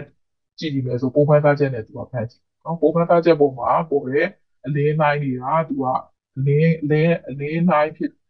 ဒီလင်းတဲ့ line ဖြစ်ပေါ်တာရှိတယ်မှောင်တဲ့ line ဖြစ်ပေါ်တာရှိတယ်ပေါ့နော် constructed နဲ့သွားပြီးတော့ထပ်ပြီးတဲ့ line တွေဆိုရင်ပို့ပြီးတော့ intensity များတဲ့ကောင်ဆိုရင်လင်းတဲ့ကောင်ဖြစ်မယ်နောက်ဒီ distracted နေနဲ့သွားပြီးတော့ထပ်ပြီးတဲ့ကောင်ဆိုရင်မှောင်တဲ့ line တွေဖြစ်မယ်ဒါတွေကိုသူကဒီကားချက်နဲ့သူကဖမ်းပြီးတော့ကြည့်ပါနော်ကြည့်ရဆိုရင်သူကအလင်းဒီမှာပေါ်တဲ့ဒီကားချက်နဲ့ပေါ်လာတဲ့ဒီအလင်းအလင်းစင်းတွေရှိမှာပေါ့နော်အဲ့အလင်းစင်းတွေမှာသူကဒီခလေကနေပြီးတော့ဒီ slit ကနေပြီးတော့ဒီ origin နဲ့ အဲ့ဒါလေးကို PO ဆိုတဲ့အမှတ်ကလေးကနေပြီးတော့အလင်းစင်းနဲ့ဂျာကွာဝေးလို့သူက X လို့ထားတာတယ်နောက်တစ်ခါကျတော့ဒီ slit လေးနဲ့သူကနေပြီးတော့ screen နဲ့ဂျာတွေကကွာဝေးလို့ဒီကြီးဆိုပြီးတော့ထားထားတယ်နောက်တစ်ခါကျတော့အဲသူ့မှာဒီ slit နှစ်ခုပေါ့နော်1နဲ့ slit 1နဲ့ slit 2နဲ့ဂျာကွာဝေးလို့ဒီသေးလေးထားမယ်အဲဆိုရင်သူက yan experiment ရာသူကတော့ privation တွက်ထုတ်တဲ့မိုးတွေကတော့အရှိသဖြင့်ရှိရပေါ့နော်အဲ့မှာတော့သူကအဲသူ့ရဲ့ဒီ ပေါ်လာတဲ့ခါမှာအလင်းစင်းရှိမယ်အမှောင်စင်းရှိမယ်ပေါ့နော် bright frame တွေ့ရှိမယ် dark frame အတွက်ရှိမယ်ဒါတော့သူကနေပြီးတော့တွက်ထုတ်တဲ့ equation တွေရှိမယ်အစဉ်အဆက်ပေါ့နော်အဲ့မှာ bright frame အတွက်ဆိုရင် x equal to ဒီ equation တွေသုံးပြီးတော့ပုံစံလေးတွေ့တာရှိရပေါ့နော် bright frame ဟောလင်းစင်းတွေအတွက်ဆိုရင် x equal to m lambda dg by dt နဲ့တွေ့တာပေါ့နော်နောက်တစ်ခုကကြတော့ dark frame အတွက်ဆိုရင် x equal to m plus half into lambda dg by dt ပေါ့နော်အဲ့မှာဆိုရင် x ဆိုတာကခုနကတော့ပြောတယ်အဲဒီ maximum သူ့ရဲ့အလင်းစင်းတွေစပြီးတော့ပေါ်တဲ့အခါမှာဒီဒီကားချက်မှာပေါ်တဲ့အခါမှာခက်လေနော်ပီနောဆိုတဲ့ PO ဆိုပီနောဆိုတဲ့အမှန်မှာသူက maximum central maximum လို့ခေါ်တယ်အဲ့ဒီနေရာမှာ central maximum နေပြီးတော့ဒီပေါ်တဲ့အစင်းပေါ့နော်ပိုစဉ်းစားတဲ့စင်းရဲ့ဂျာကွာဝီဒီယာ H လို့ထားမယ် M ဆိုတာလေးပေါ်ပြောထားတာကတော့ဒီအလင်း line ထပ်တဲ့အကောင်ရဲ့ interference ရဲ့ order လေးတွေပေါ့နော်အဲ့တော့ order ကတော့0ရှိမယ်1ရှိမယ်2ရှိမယ်3ရှိမယ်ပေါ့နော် အဲဆိုတော့0 order first order second order third order ပေါ့နော်စာကြည့်တယ်အဲဆိုတော့ lambda lambda ဆိုတာကတော့ wavelength လေးပါတည်ပြီးသား wavelength ကိုတော့ meter တို့ centimeter တို့ angstrom နဲ့တိုင်းနော်အဲ့မှာရှိတဲ့ d ဆိုတာကတော့ဒီ slit နှစ်ခုကြားအကွာပုံပြီးနဲ့ပြန်ကြည့်လို့ရပါတော့။ DG ဆိုတာကတော့ slit နဲ့သူ့ရဲ့ separate ကြားအကွာကိုပြောတာပေါ့နော်။ဒီ equation လေးနဲ့ဒီမှာသူ့ရဲ့ဒီခေါ်ဝေါ်လေးပေါ့နော်ဒါလေးကိုတွဲပြီးတော့မှတ်ထားတယ်။မှတ်ထားပြီးတဲ့အခါကျတော့နောက်မှာပုံစံလေးတွေ့တာရှိတယ်ပေါ့နော်။ နောက်တစ်ခုကတော့ဒီ interference method ကြောင့်မို့လို့သူကဒီ reflecting ဒီမှာဆိုရင်သူကအလင်းလိုင်းကဒီတိုင်းထုတ်လုပ်လိုက်တာမှာသူရဲ့လင်းလိုက်ထက်တဲ့ဟာမှာသူကအမောက်စင်းတွေအလင်းစင်းတွေလိုမျိုးဖြစ်ပေါ်သူအဲ့ဂျာလေးထဲမှာသူကပါလဲဆိုရင် plastic စာလေးပဲဖြစ်ဖြစ်ပေါ့နော်သူကဒီ transparent ဖြစ်တဲ့ပစ္စည်းလေးတစ်ခုကိုအဲ့ဒီအလင်းလန်းချောင်းလေးမှာတွားပြီးတော့ထားကြည့်လိုက်ထားကြည့်တဲ့အခါမှာသူ့ရဲ့ဒီအစင်းလေးတွေကပါလဲဆိုရင် displacement ဆိုရွေ့သွားတာရှိတယ်နော် ရွေ့သွားတာမျိုးရှိခဲ့မယ်ဆိုရင်အဲ့ဒီဒီရွေ့သွားတဲ့ဒီ frame လေး frame ဆိုတာအစင်းလေးလို့ပြောနော် frame လေးအရေအတွက်ကို delta m ဆိုပြီးတော့ထားလိုက်ပေါ့နော်ဒါဆိုရင်သူ့ရဲ့ဒီ equation လေးပေါ့နော်ဒါတွေကဘယ်လိုပါလဲတော့ဆိုရင် m - 1 into ဒီမှာဆိုရင်သူကဒီထားထားတဲ့ transparent material လေးရဲ့သူ့ရဲ့အထူလေးပေါ့နော် thickness လေးကို t လေးထားတယ်အဲဆိုတော့ n - 1 into t equal to delta m into lambda ဆိုပြီးရှိတယ် delta m ကတော့သူက ဒီ frame လေးရဲ့ number အကြီးအတွက်ပေါ့နော်နောက်ကကြတော့ဒီ lambda ကတော့ wavelength ပဲဖြစ်တယ်နော်နောက်ကကြ n ကတော့ refractive index ပေါ့နော်ဒီသုံးတဲ့ပစ္စည်းရဲ့ဒီအဲဒီ refractive index ကိုထည့်ပြီးတော့တွက်ပေါ့နော်ဒါလေးက frame ရဲ့ displacement ကိုတွက်တဲ့အခါမှာသုံးတဲ့ equation ပေါ့နော်အဲ displacement of frame ကိုတွက်ထားတဲ့ equation လေးကိုပြန်တွက်ထုတ်ထားတဲ့ဟာလေးပေါ့နော် delta m lambda equal to n minus 1 into t ပေါ့နော်အဲဒါဆိုတော့အဲ delta m ကိုလိုချင်နေဆိုရင် n minus 1 into t by ဒီပါဆိုရင် n minus 1 into t delta m lambda ပေါ့နော်ဒါလေးရလေးရှာအဲ့တော့ဒီမှာ delta m ဆိုတာ frame လေးရွှေ့သွားတဲ့ဟာလေးပေါ့ဒီမှာသူကသွားနေတဲ့အဒီဒီသူ့ရဲ့အလင်းထဲမှာသူက transparent ဖြစ်တဲ့ဒီပစ္စည်းပစ္စည်းလေးတစ်ခုထည့်လိုက်တယ်ဆိုရင်အလင်းလမ်းချောင်းရွေ့သွားရွေ့သွားတဲ့ frame လေးရဲ့စင်းလေးရဲ့ရွေ့သွားတဲ့အရွေ့လေးကို delta m ဆိုပြောထားတယ် lambda လေးကသူ့ရဲ့ wavelength လေးပေါ့နော် n ကတော့ refractive index t ဆိုတာဒီကိုသုံးတဲ့ transparent ပစ္စည်းလေးရဲ့ thickness လေးပေါ့နော်ထူလေးနောက်တစ်ခုလည်းအဲ့လိုပဲ Fresnel by Prism ပေါ့နော်ဒါကတော့ဒီမှာဆိုရင်ဒီဒီ Prism တုံးလေးကိုအပေါ်အောင်တစ်ခုပေါ့နော် by Prism Prism တုံးတိုးပြီးတဲ့ခါကျဒီကနေအလေးနဲ့ထိုးမယ်ပေါ့နော်အဲ့မှာသွားပြီးတော့အဲ interfere ထပ်သွားတဲ့အစင်းလေးတွေရဲ့တန်ဖိုးလေးတွေပေါ့နော်အဲ့ဒါလေးတွေပြန်ပြီးတော့တွတ်ထုတ်ထားတဲ့ဟာလေး အဲ့ဒါဆိုတော့ဒီကောင်လေးတွေမှာသူက visual source လေးရှိတယ်။ဒီကနေပြီးတော့ပြန်ပြီးတော့ပြန်လေးနဲ့ပေါ့နော်ပြန်လေးနဲ့ဒီကိုဆက်ဒီကနေပြီးတော့ဖြစ်ပေါ်လာတဲ့ source လေး S1 S2 ဆိုပြီးပေါ်လာတဲ့ကောင်ကြီးအဲ့ဒါလေးကကျတော့ visual source နှစ်ခုပေါ့နော် visual source နှစ်ခုကြာအကွာအဝေးလေးပေါ့နော်အဲ့ဒါလေးကိုလိုချင်နေဆိုရင် d equal to 2a into n minus 1 into alpha ပေါ့နော်အဲ့တော့ဒီမှာဆိုရင်အဲ့မှာရှိတဲ့ a ဆိုတာလေးပါ a ဆိုတာလေးကတော့သူကဘာလဲဆိုရင် distance between the slit and vibration ဒီ vibration ဒီပေါ့ vibration နှုံးထပ်ထားတဲ့ကောင်လေးနဲ့သူက slit နဲ့ကြာ slit လေးဒီက slit လေးပေါ့နော် slit နဲ့ကြာအကွာဝေးလေးဘာလို့ခေါ်လဲဆိုရင် a ပေါ့နော်နောက် alpha ဆိုတာလေး alpha ဆိုတာလေးကတော့သူကဒီ vibration လေးကနေပြီးတော့သူကရိုက်သွားတဲ့ထောင်ကြီးပေါ့နော်ဒီ vibration လေးကနေရိုက်သွားတဲ့ထောင်ကြီး alpha တန်ဖိုးလေးရှိတယ်နောက်တစ်ခုက n ကကြတော့အဲဒီ vibration material က refractive index တန်ဖိုးပေါ့နော်အဲဒီ delta x ဆိုတာကတော့သူက ကဲ့ရဲ့ရှိတဲ့သူက separate မှာပေါ့နော် frame တစ်ခုကြာกว่า frame frame မှာရှိတဲ့အစင်းတွေကြာกว่าဝေးရ delta x ပေါ့နောက် d ဆိုတာကတော့ဒီကိုဒီမှာဆိုရင်အလင်း source နှစ်ခုရဲ့ကြာกว่าဒီဖြစ်နော် အဲ့တော့ DG ဆိုတာလည်းသူကပါလာ DG ကကြတော့အဲ့ source ကနေပြီးတော့မှသူရဲ့ screen ကြားကွာဝေးရကြတော့ DG နဲ့ယူပေါ့နော်အဲ့ဒါဆိုတော့သူ့ကိုတွက်ဖို့အတွက် d equal to 2a into n minus 1 into alpha ပေါ့နော်ဒီ equation လေးနဲ့လည်းသုံးပြီးတော့ပုံစံလေးရှိတယ် အဲဆိုတော့သူကနေပြီးတော့မှ wavelength number ကိုကျင်းနေဆိုရင်တော့ delta h into dg by dt ပေါ့နော်ဒီ equation လေးအဲ့တော့ example 3.1တော့ yan experiment နဲ့ဆိုင်တဲ့ကောင်နော် yan experiment နဲ့ဆိုင်တဲ့ကောင်ဆိုတဲ့အတွက်ကြောင့်မို့လို့အဲသူက bright band ဆိုရင် bright band ဆိုတော့ဒီအလင်းစင်းအတွက် bright frame အတွက် equation လေးကိုသုံးမယ် bright frame အတွက်ဆိုရင် x equal to m lambda dg by dt ကိုသုံးမယ်ပေါ့နော်အဲဆိုသူပေးထားတဲ့ သူပြောထားတဲ့ဟာလေးတွေကနေပြီးတော့ x ကဘာလဲ d ကဘာလဲဒါပြီးတော့မှတ်ကန်အောင်လုပ်ပါဦးเนาะအဲဆိုရင်ဒီမှာဆိုရင်သူရဲ့အလင်းစင်းစင်းစင်းတစ်ခုရဲ့ဒါကွာဝေးဆိုတဲ့အတွက်ကြောင့်မို့သူ x ကိုပြောထားပါတော့အစင်းက h equal to 0.54 milliliter အဲ့တော့ milli ဆိုတော့10 minus 3လေးထည့်တာပြီးသွားရင်စလင်းတစ်ခုကြာကွာဝေးဆိုတော့ d သေးပြီးပြောတာဆိုတော့1 milliliter ပေါ့နော်ဒါလေးထည့်တယ်ပြီးရင်သူပြောထားတာကအဲအဲသူ့ထဲမှာပေးထားတာမျိုးမရှိဘူးဆိုရင်သူရဲ့ first အဲ first order ပေါ့နော် m is equal to 1နဲ့တန်ဖိုးနဲ့ထည့်ပြီးတော့ပဲတွက်မယ်ပေါ့နော်အဲဆိုတော့သူကအဲဒီ IP ဆိုတော့သူမြင်တဲ့နေရာပေါ့နော်မြင်တဲ့နေရာဆိုတဲ့အတွက်ကြောင့်မို့လို့သူက screen လိုမျိုးပဲပေါ့နော်အဲ့ဒီ slit ကနေပြီးတော့မြင်တဲ့နေရာကြားကွာဝေးဆိုတော့ DG ကိုပြောမှာ DG က1 meter အဲ့ဆိုသူရှာခိုင်းတာ wavelength length ကိုရှာခိုင်းနေတာဆိုဒီ equation လေးတွေမှာထည့်ပြီးတော့တွေ့ရုံပဲပေါ့နော် h equal to m lambda dg by dt lambda ကိုကြည့်နေဆိုရင် hd by dg ပေါ့နော်ဒါလေးကနေထည့်ပြီးတော့ နောက် example 3.2ကကြတော့ vibration နဲ့ပတ်သက်တဲ့ကောင် vibration နဲ့ပတ်သက်တဲ့ equation ကတော့ d equal to 2a into n minus 1 into alpha ပေါ့နော်အဲဆိုသူပေးတဲ့ page လေးတွေပေါ့နော် refracting index ဆိုရင် n ပေါ့နော်အဲသူရှာခိုင်းတာကအဲရှာခိုင်းနေကောင်ကပေါ့ရှာခိုင်းတာလေဆို calculate the separation between the coherent source coherent source ကဒီတခြားဟိုဟာဝေးဆိုတဲ့အတွက်ကြောင့်ဒီသူ့ရဲ့ဒီကိုရှာခိုင်းဒီလေးရှာခိုင်းနော် ပြီးတဲ့အခါကျတော့သူ့မှာ incline face angle ပေါ့နော်ဒီ place ကနေပြီးတော့မှသူ့ရဲ့ refresh ဖြစ်နိုင်တဲ့သူ့ရဲ့ဒီ incline ဖြစ်နေတဲ့ angle က2 degree လို့ပြောတဲ့အတွက်ကြောင့် alpha တန်ကို2 degree ပြီးထားတယ်အဲ့တော့သူတန်ဖိုးတွေဒီထဲမှာထည့်တွက်ဖို့အတွက်ကသူက radian ပြန်ဖွဲ့ရတယ်သူကကျတော့ degree ကနေ radian ပြန်ဖွဲ့ရဆိုရင် pi minus 180နဲ့ပြန်နော်အဲ့ဆိုရင်သူက radian ပြန်ဖွဲ့ပြီးတော့မှဒီ equation လေးထဲမှာထည့်ပြီးတော့တွက်ပေါ့နော် example 3.3ကကြတော့သူကဒီ အဲဒီထဲမှာသူက plastic စာလေးကိုသူက thin film တွေ plastic စာလေးကိုသူသွားတဲ့အင်းထဲမှာအင်းထဲမှာထည့်လိုက်တယ်ဆိုတဲ့အတွက်ကြောင့်မို့လို့သူ့ရဲ့ band ဒီ frame frame လေး display display ဖြစ်သွားပေါ့ရွေ့သွားတဲ့ဟာလေးကိုတွက်ခိုင်းတာဒါဆိုတော့ band shape နဲ့ပတ်သက်တဲ့ n-1 into t equal to delta n lambda ဆိုပြီးတော့တွက်မယ်ပေါ့နော်တွက်မယ်ဆိုတဲ့အခါကျတော့သူကအဲသူက band shape ဖြစ်သွားတဲ့ကောင်က5 frame ဆိုပြောထားတယ်ဒါကြောင့်မို့လို့ delta m တန်ဖိုးကဘယ်နှစင်းရွေ့သွားဆို5စင်းဆိုတော့ delta m equal to 5ပေါ့နော်အဲ့တော့ wavelength တွေပေးထားရှိမယ် refractive index တန်ဖိုးပေးထားရှိမယ်အဲ့အတွက်ကြောင့်မို့လို့ n-1 into အဲ့တော့ t ပေါ့နော် thickness ပေးထားတာရှိတယ် thickness တန်ဖိုးပေးထားရှိမယ်အဲ thickness တန်ဖိုးပေးထားရှိဟို thickness တန်ဖိုးကရှာခိုင်းတာပေါ့နော် t သေးလေးကိုရှာခိုင်းတာဒါဆိုရင် t သေးလေး thickness ကိုပြန်ရှာမယ်ပေါ့နော်ကြာလာတဲ့တန်ဖိုးက6.544 micrometer ပေါ့နော် thickness လေးကပပလေးပေါ့နော်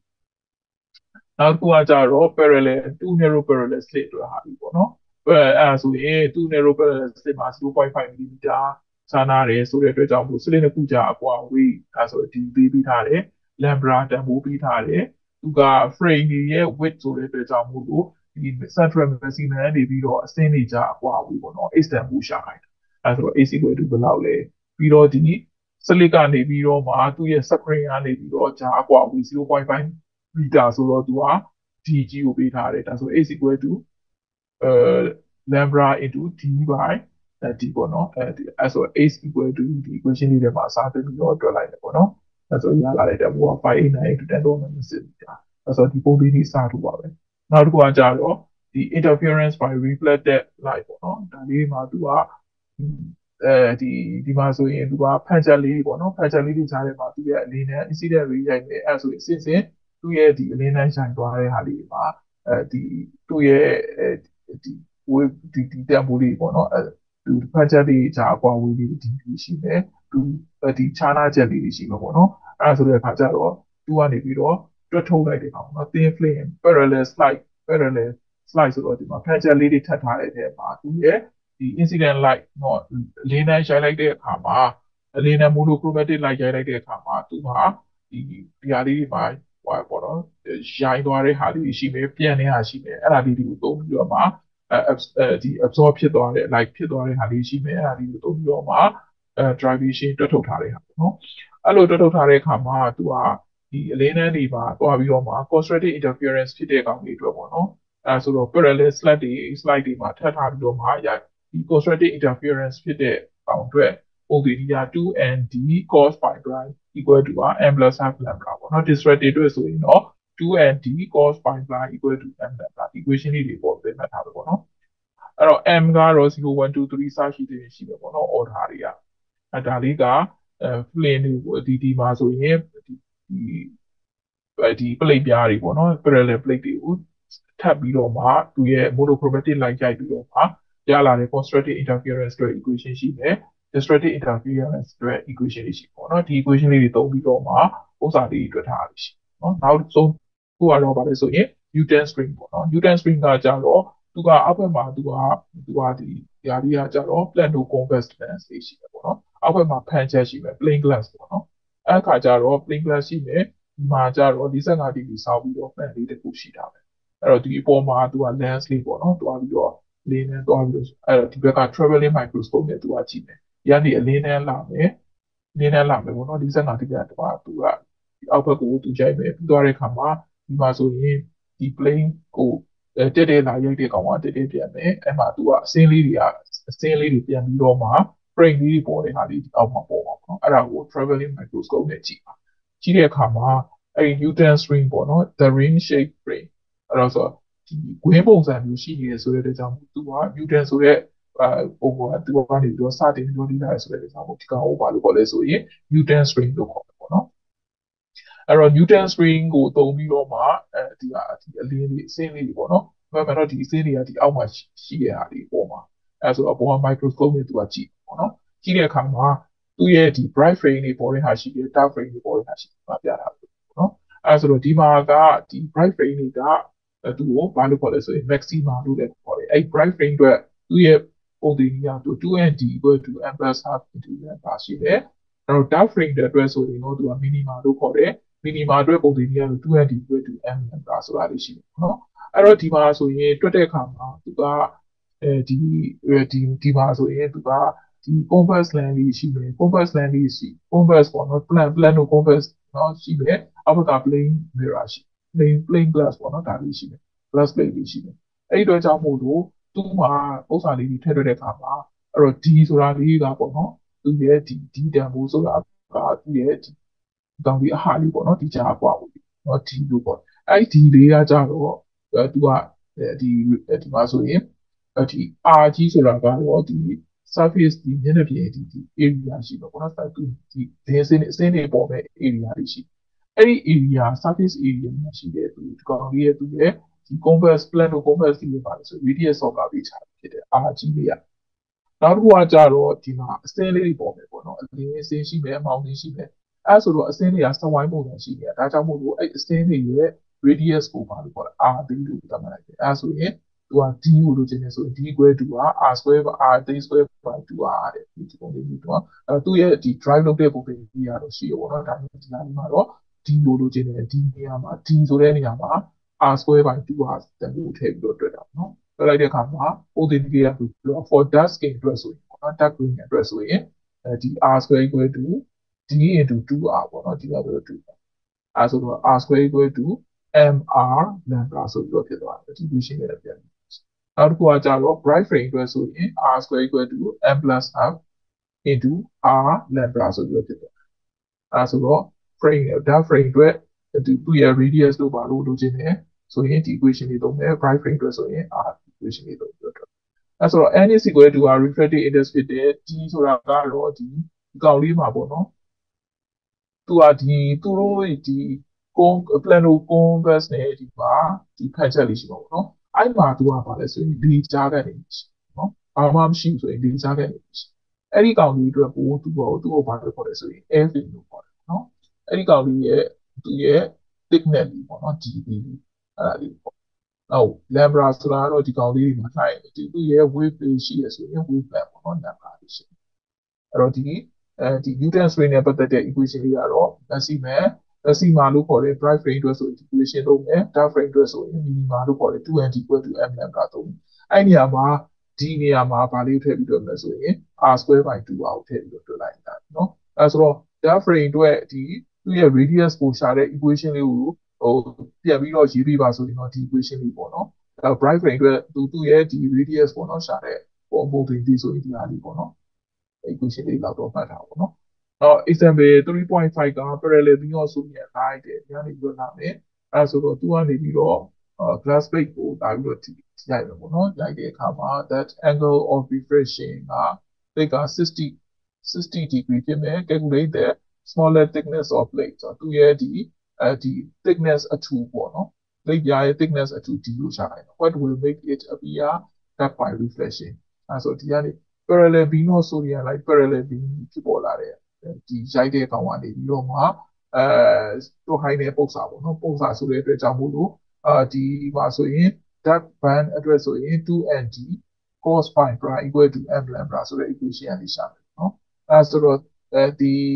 least thickness of plate ဆိုတဲ့အတွက်ကြောင့်မို့လို့ဒီ order ပေါ့နော် n ကိုဗာနဲ့1ဆိုပြီးတော့ပဲရှိပြီးတော့တွက်မယ်နော်အဲဆိုရင်ဒီထဲမှာစားသိပြီးတော့တွက်လိုက်မယ် d တန်မိုးပြန်တွက်တော့နော် d တန်မိုးပြန်တွက်တဲ့ကောင်က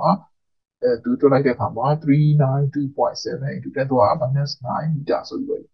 အဲဆိုသူပေးထားတဲ့ဒီတန်ဖိုးလေးတွေကိုစားထုတ်ပြီးတော့နော်ဒါလေးက parallel beam of sodium light နော်သူရဲ့ဒီဒီကဒီပုံပြီးသုံးထားတဲ့ဟာလေးတွေက နောက်တစ်ခုကတော့ Newton string Newton string နဲ့ပတ်သက်တဲ့ကောင်မှာသူက dark ring အတွက်ပေါ့နော်အဲ့ဒါလေးကိုသုံးနေတယ်အဲ့ခါကျတော့သူ့မှာဒီ dark ring နဲ့ဘာလဲဆိုရင် bright ring နဲ့ဆိုပြီးတော့ရှိပေါ့နော်အဲ့တော့ dark ring အတွက်ဆိုရင်သူကအဲဒီ m တန်ဖိုးကိုယူတဲ့အခါမှာ dark ring ကတော့သူရဲ့ order အလိုက်ပဲပေါ့နော်တန်ဖိုးကိုအတူတူပဲယူမယ်တကယ်လို့ fit dark ring လို့ပြောရဆိုရင် m is equal to 5ဆိုပြီးနော်အဲဆိုတော့ Newton string အတွက်ဆိုရင် wavelength တန်ဖိုးလေးတွေပေးထားမယ်တော့သူက fit dark ring ဆိုတဲ့အတွက်ကြောင့်မို့လို့သူရဲ့ order ပေါ့နော်ဒီ order of interference m က5ဖြစ်မယ်ဒီကသူကဘာပေးထားလဲဆိုရင် radius of curvature r ကြီးပေးထားတယ် r ကြီးက1 meter နော်အဲ့တော့သူ့ရဲ့ 0. ဒီ diameter က0.003 meter လို့ပြောထားတယ်အဲ့တော့ diameter ပေးထားတယ်ဆို radius လေးပြန်ရှာမယ် r d by 2ဆိုတော့2နဲ့စာထားတယ်ရှာခိုင်းတာ refractive index of liquid ပေါ့နော် mutants တွေမှာလည်းပဲသူကစားကြားထဲမှာသူကဖန်ချမ်းတဲ့ဒီအဲ plano converse ကြားထဲမှာသူကဘာမှမထည့်ထားရင်တော့လေးကြားခံတယ်ပဲရှိတယ်အဲ့ထဲမှာသူကရေစက်ကလေးချပြီးတော့မှ liquid တစ်ခုပေါ့နော်အရင်တစ်ခုကိုချထားပြီးတော့သူ့ရဲ့ refractive index ကိုပြန်ရှာခိုင်းတာဆိုတော့ n က n ဘယ်လောက်လဲဆိုပြီးတော့ရှာခိုင်းတယ်အဲ့တော့သူကပြောထားတာ dot range အတွက်ဆိုတဲ့အတွက်ကြောင့်မို့လို့ 2n equal to m lambda ဆိုတဲ့ equation ကနေရှာမယ်ဒီနေရာမှာ r square by 2ပါဆိုပြီးတော့ထည့်လို့နော်ထည့်ပြီးတော့ အဲ equation လေးတွေရှင်းလိုက်တဲ့အခါမှာ n is equal to m lambda rg by r square ပေါ့နော်အဲဆိုသူပေးတဲ့ base တွေကိုထည့်ပြီးတော့တွက်လိုက်တဲ့အခါမှာသူကထည့်ထားတဲ့ liquid ကပါလဲဆိုရင်1.31ဆိုတော့ရှိဖြစ်တယ်နော်အဲ့ဒါလေးကိုဒီသူ့ရဲ့ refractive index လေးပြန်ရှာထားနောက်တစ်ခုကလည်း Newton string အတွက်ပဲဒါပေမဲ့ဒီတစ်ခေါက်ကျတော့ပါလဲဆိုရင်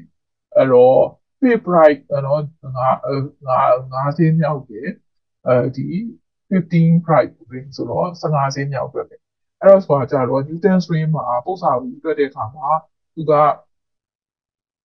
သူကပုံစံတွေတွေ့တဲ့အခါမှာဒီ ampere mode တွေပေါ့နော် ampere mode တွေထည့်ပြီးတော့တွေ့ရတာရှိပေါ့နော် ampere mode တွေထည့်ပြီးတော့အဲ ampere mode တွေထည့်ပြီးတော့တွေ့ရတဲ့အခါမှာဆိုရင်သူကဒါလေးမှာသတိထားဖို့ပေါ့နော်အဲဆိုတော့သူက50မြောက်အတွက်ဆိုရင် bright frame အတွက်ဆိုရင်သူကဒီ order order မှာပြန်ပြီးတော့တွေ့တဲ့အခါမှာဒီ ampere mode ကိုတစ်ခုကျော်ပြီးတော့တွေ့နော် m is equal to 4ဆို fifth အတွက်ဆိုရင်4ပေါ့နော်တကယ်လို့15စင်းအတွက်ဆိုရင်15စင်းမြောက်အတွက်ဆိုရင် m တန်ဖိုးကို14ပေါ့နော်14လို့ယူပြီးတော့တွေ့တယ်အဲ့တော့ဒီမှာကတော့သူ့ရဲ့အဲဒီ r to calculate the radius of the radius of curvature of convex glass surface အဲသူ့ရဲ့ဒီ radius of curvature r g r g တန်ဖိုးရှာခိုင်းရှာခိုင်းတာဆိုရင် lambda ပေးထားတာ angstrom နဲ့ပေးထားတယ် angstrom နဲ့ပေးထားရဆိုရင်သူကတော့ဒီမှာမီတာပြန်ဖွဲ့ထားမီတာပြန်ဖွဲ့ရင် 1 angstrom ကဘယ်လောက်နဲ့တူလာလဲဆိုရင်10 to the minus 10မီတာပေါ့နော်ဒါဆိုတော့သူကနေပြီးတော့ angstrom ကနေပြီးတော့မီတာပြန်ဖွဲ့တာအဲဆိုတော့သူကဒါသူပေးထားတဲ့ကောင်ကြီးကအဲဘာကိုပေးထားလဲဆိုရင် measure တဲ့သူတန်ဖိုးတွေပေးထား diameter လို့ပေးထားတာအဲ့တော့ diameter တွေ radius တွေပြန်ဖွဲ့တာနှစ်တွေနဲ့စားပြီးတော့ radius ပြန်ဖွဲ့ထားတယ် r တန်ဖိုးဘယ်လောက်လဲပြီးတယ်အဲ့တော့ဆိုတော့ဒီအတွက်ဆိုရင် NA က equal to NA နေရာမှာ1ထည့်ပြီးတော့တွက်တယ်ပေါ့နော် အဲ့တော့ bright frame အတွက်ဆိုရင်ဒီ equation လေးရှိမယ် bright frame အတွက်ပေါ့နော်နောက်ခါကျတော့အာ bright frame အတွက် equation လေး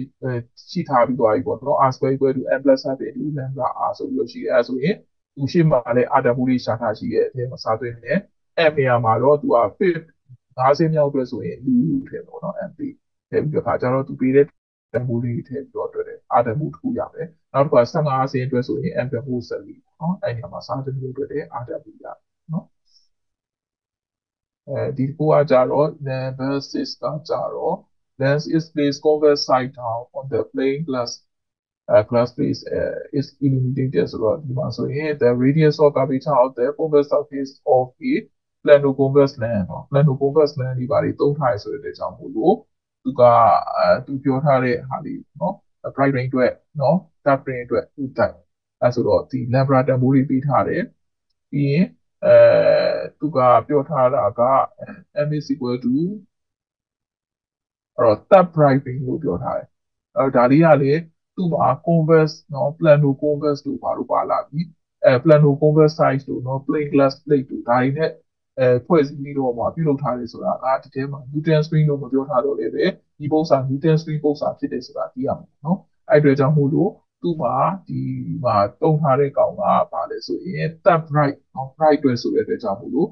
m နေရာမှာ2လို့ပြီးတော့တွေ့တယ်ပေါ့နော်ကျန်တဲ့ကောင်ကြီးကတော့ diameter ပေးထားရဆိုရင် radius ပြန်ဖွဲ့မယ်သူက radius of ပေးထားပေးထားမယ်ပေးပေးထားရတယ်ပေါ့နော် r ပေးထားမယ်အဲ့တော့ enter mode က a လို့ဘာမှမရှိဘူးပေါ့နော်ဂျာထဲမှာ အဲသူရဲ့ဒီ convex lens နဲ့ plano convex နဲ့အပကနော် plate glass plate ချားထဲမှာဘာမှမရှိဘူးဆိုရင်လူကိုပဲယူပြီးတွက်တယ်ဆိုရင်သူရဲ့ reflecting index n နေရာမှာ1ဖြစ်တယ်ပေါ့နော်အဲဆိုတော့ဟိုသူရှာခိုင်းတာက diameter of the separate ပေါ့ diameter ပြင်ရှာခိုင်းအဲဆိုတော့အဲသူ့မှာအဲဒီ condition of the bright ring bright ring အတွက်ဆိုရင် 2nd into m plus half lambda ပေါ့နော်အဲ့ တော့ဒီနေရာမှာ r square by 2အောက်ထည့်တယ်အဲ့တော့ r square equal to equation ကြီးရလာပြီနော်ရလာဆိုရင်ဒီရဲ့နောက်ဆုံး radius ကြီးရအောင်နော် radius က radius ရလာတဲ့ကောင်ကိုဟိုက radius ကိုလိုချင်တာမဟုတ်ဘာလို့ချင်တာလဲဆိုရင် diameter ကိုလိုချင်တာ diameter လိုချင်တယ်ဆိုတဲ့အတွက်ကြောင့်မို့လို့2နဲ့ဟိုဖြစ်လို့နော်ဒီကောင်လေးကအဲဒီမှာ0.003 the radius of curvature ပြောတာဒီကောင်ကြီးကပါပြီးတော့ပို့နေတာနော်ဒါရှေ့ရဟာတွေက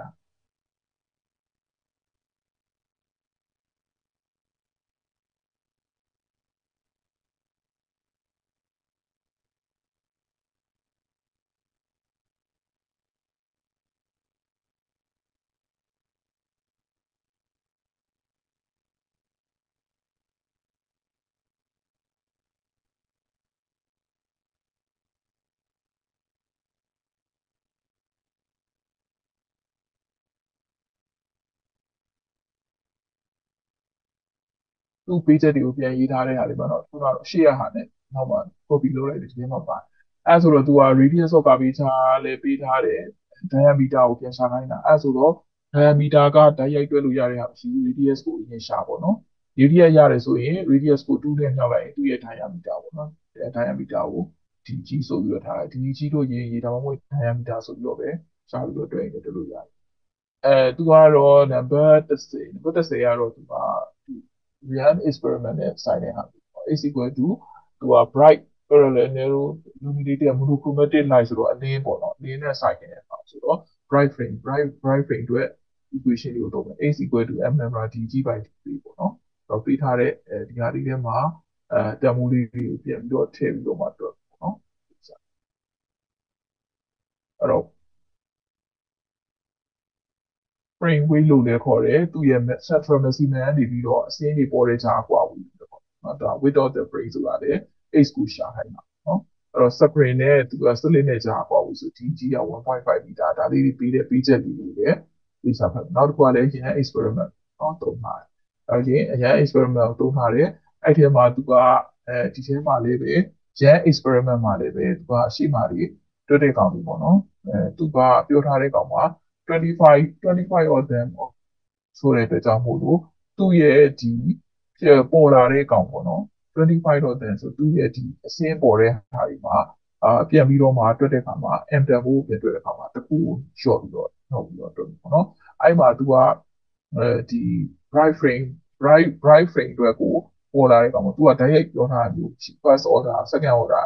အဲဆို first order တို့ second order တို့ third order တို့အဲ့လိုမျိုးပြောထားမျိုးရှိ25တော့တန်သူ့ထဲမှာပေါ်တဲ့ဟာသူက25ဈေးရဲ့သူ့ရဲ့25သူတို့ထဲထဲမှာမှ25ဈေးမြောက်မှာသူ့ရဲ့အကွာဝေးကအဲ့လိုမှရှိတယ်ဆိုပြီးတော့ပြောထားပါတော့အဲ့ခါကျတော့သူကဒီ yan experiment မှာကျတော့စပြီးတော့ပေါ်တဲ့ကောင်ကအစင်းရပါတယ်ဆိုရင်အလင်းအလင်းဆုံးပေါ့နော် central maximum ကလေးမှာအလင်းအလင်းစင်းပြီးတဲ့အခါမှာအလင်းမှာပေါ့နော်အဲ့လိုအစင်းကြီးဖြစ်တယ်ဆိုတဲ့အကြောင်းမို့လို့အစင်းလေးတွေပြန်ပြီးတော့ရှိတဲ့အခါမှာသူ့ရဲ့အဲဒီ25အကြတော့ခုကျော်နော်အဲ့အတွက်ကြောင့်မို့လို့ m is equal to 25 minus 1ဆိုပြီးတော့အဲဆို24နဲ့ယူပြီးတော့တွက်မယ်ပေါ့နော်ဒီပုံစံလေးတစ်ခုကတော့အဲ့ဒါလေးရှိတယ် order တစ်ခါလေးတန်းပေးထားတာမျိုးမရှိဘူးနောက်တစ်ခုကလည်း double slit အတွက်ပဲဒါလည်းရန် experiment နဲ့ပဲတွက်တဲ့ဟာလေးပေါ့နော်အဲဆိုပုံစံလေးတွေကဒီ set လေးတွေပါပဲ နောက်ခုကလည်း73ကကြာတော့လေရန်တိုက်ဆိုရန် experiment နဲ့တွက်တဲ့ပုံစံလေးပါပဲဒါဆိုရင်တော့ဒီနေ့အတွက်ကကဲဆိုရင်တော့ဒါလေးတွေကတော့အဲရပါပြီအဲဆိုရင်တော့ရှေ့ကတော့ရှေ့ကနေစတိုက်ကိုတော့ပြောသွားတာပဲအဲ့တော့အဓိကကတော့ဒီပုံစံလေးတွေကတော့ပုံစံစင်လူလေးတွေများတယ်အဲဒီ equality ဒီ chapter 3မှာဆိုရင်တော့ derivation တွေလောက်တော့အများကြီးတွေတော့သိပြီးတော့ကြည့်စရာတော့မလိုဘူး။ဘာလဲဆိုရင်သူ့ရဲ့ equation လေးတွေကိုအခုချင်းစီပြန်ပြီးတော့ note လေးပြန်ပြီးတော့ရေးပြီးတော့ပေါ့နော် equation နဲ့ဒီသူ့ရဲ့ဒီခေါင်းစဉ်လေးတွေနဲ့အဲ့ဒါလေးနဲ့ပုံစံလေးတွေနဲ့ပြန်ပြီးတော့မှဒီပုံစံလေးတွေရဲ့သဘောပေးပေးတဲ့ပြီးချက်လေးတွေနဲ့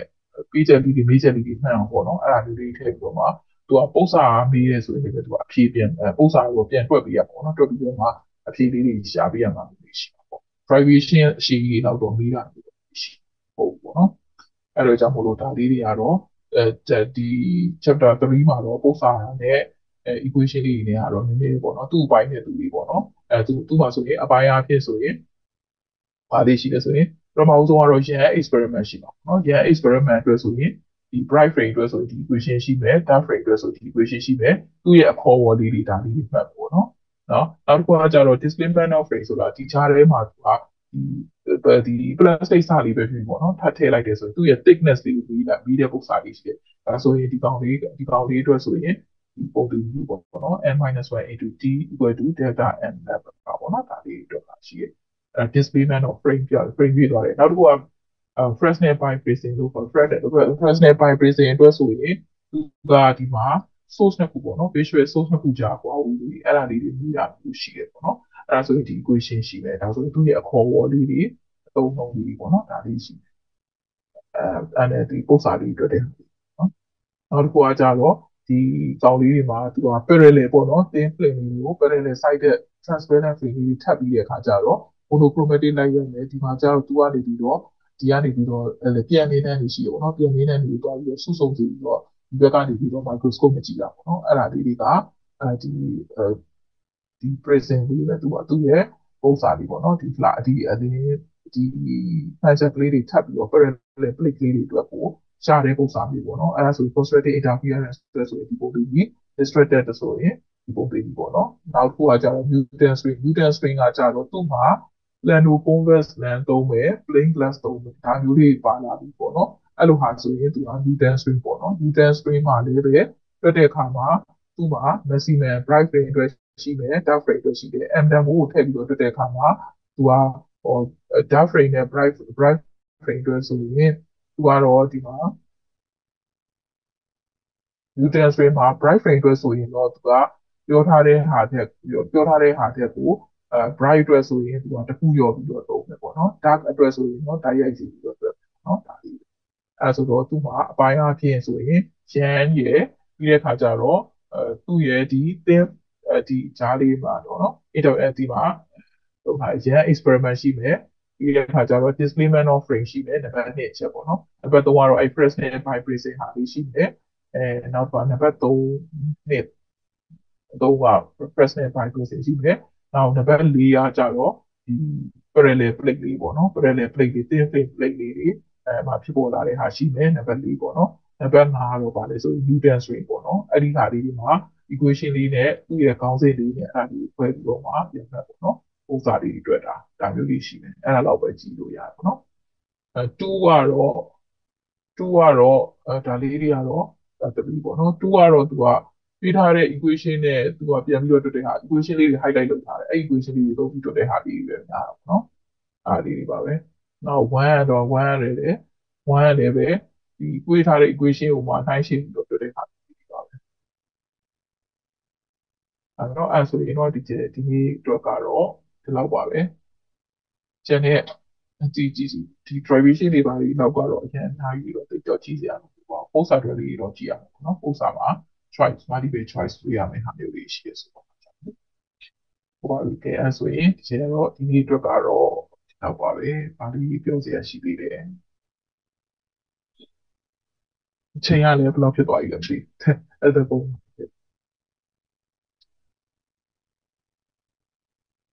ဟုတ်ပါပြီ။ဘေးရောက်ပါပြီ။အားပြောစရာရှိသေးတယ်။ Hello 这些是礼貌之前，အဲ့ဆိုရင်ဟိုကလည်းမှာဒီ recording က stop လုပ်အောင်အဲ့ဒါဆိုရင်တော့ teacher က teacher လောက်ထားတာမဟုတ်ဟိုဘက်ကလောက်ထားဆိုရင်အဲ့ဆိုရင် teacher ဒီနေရာမှာပဲရက်လိုက်ပြီနော် okay ဒါမှပါပြီ။ Good night. Good night. ကျေးဇူးပါတချင်။ Good night ပါ။ Thank you ပါ။ဒါနဲ့ဆက်တော့ကျေးဇူးပါတချင်။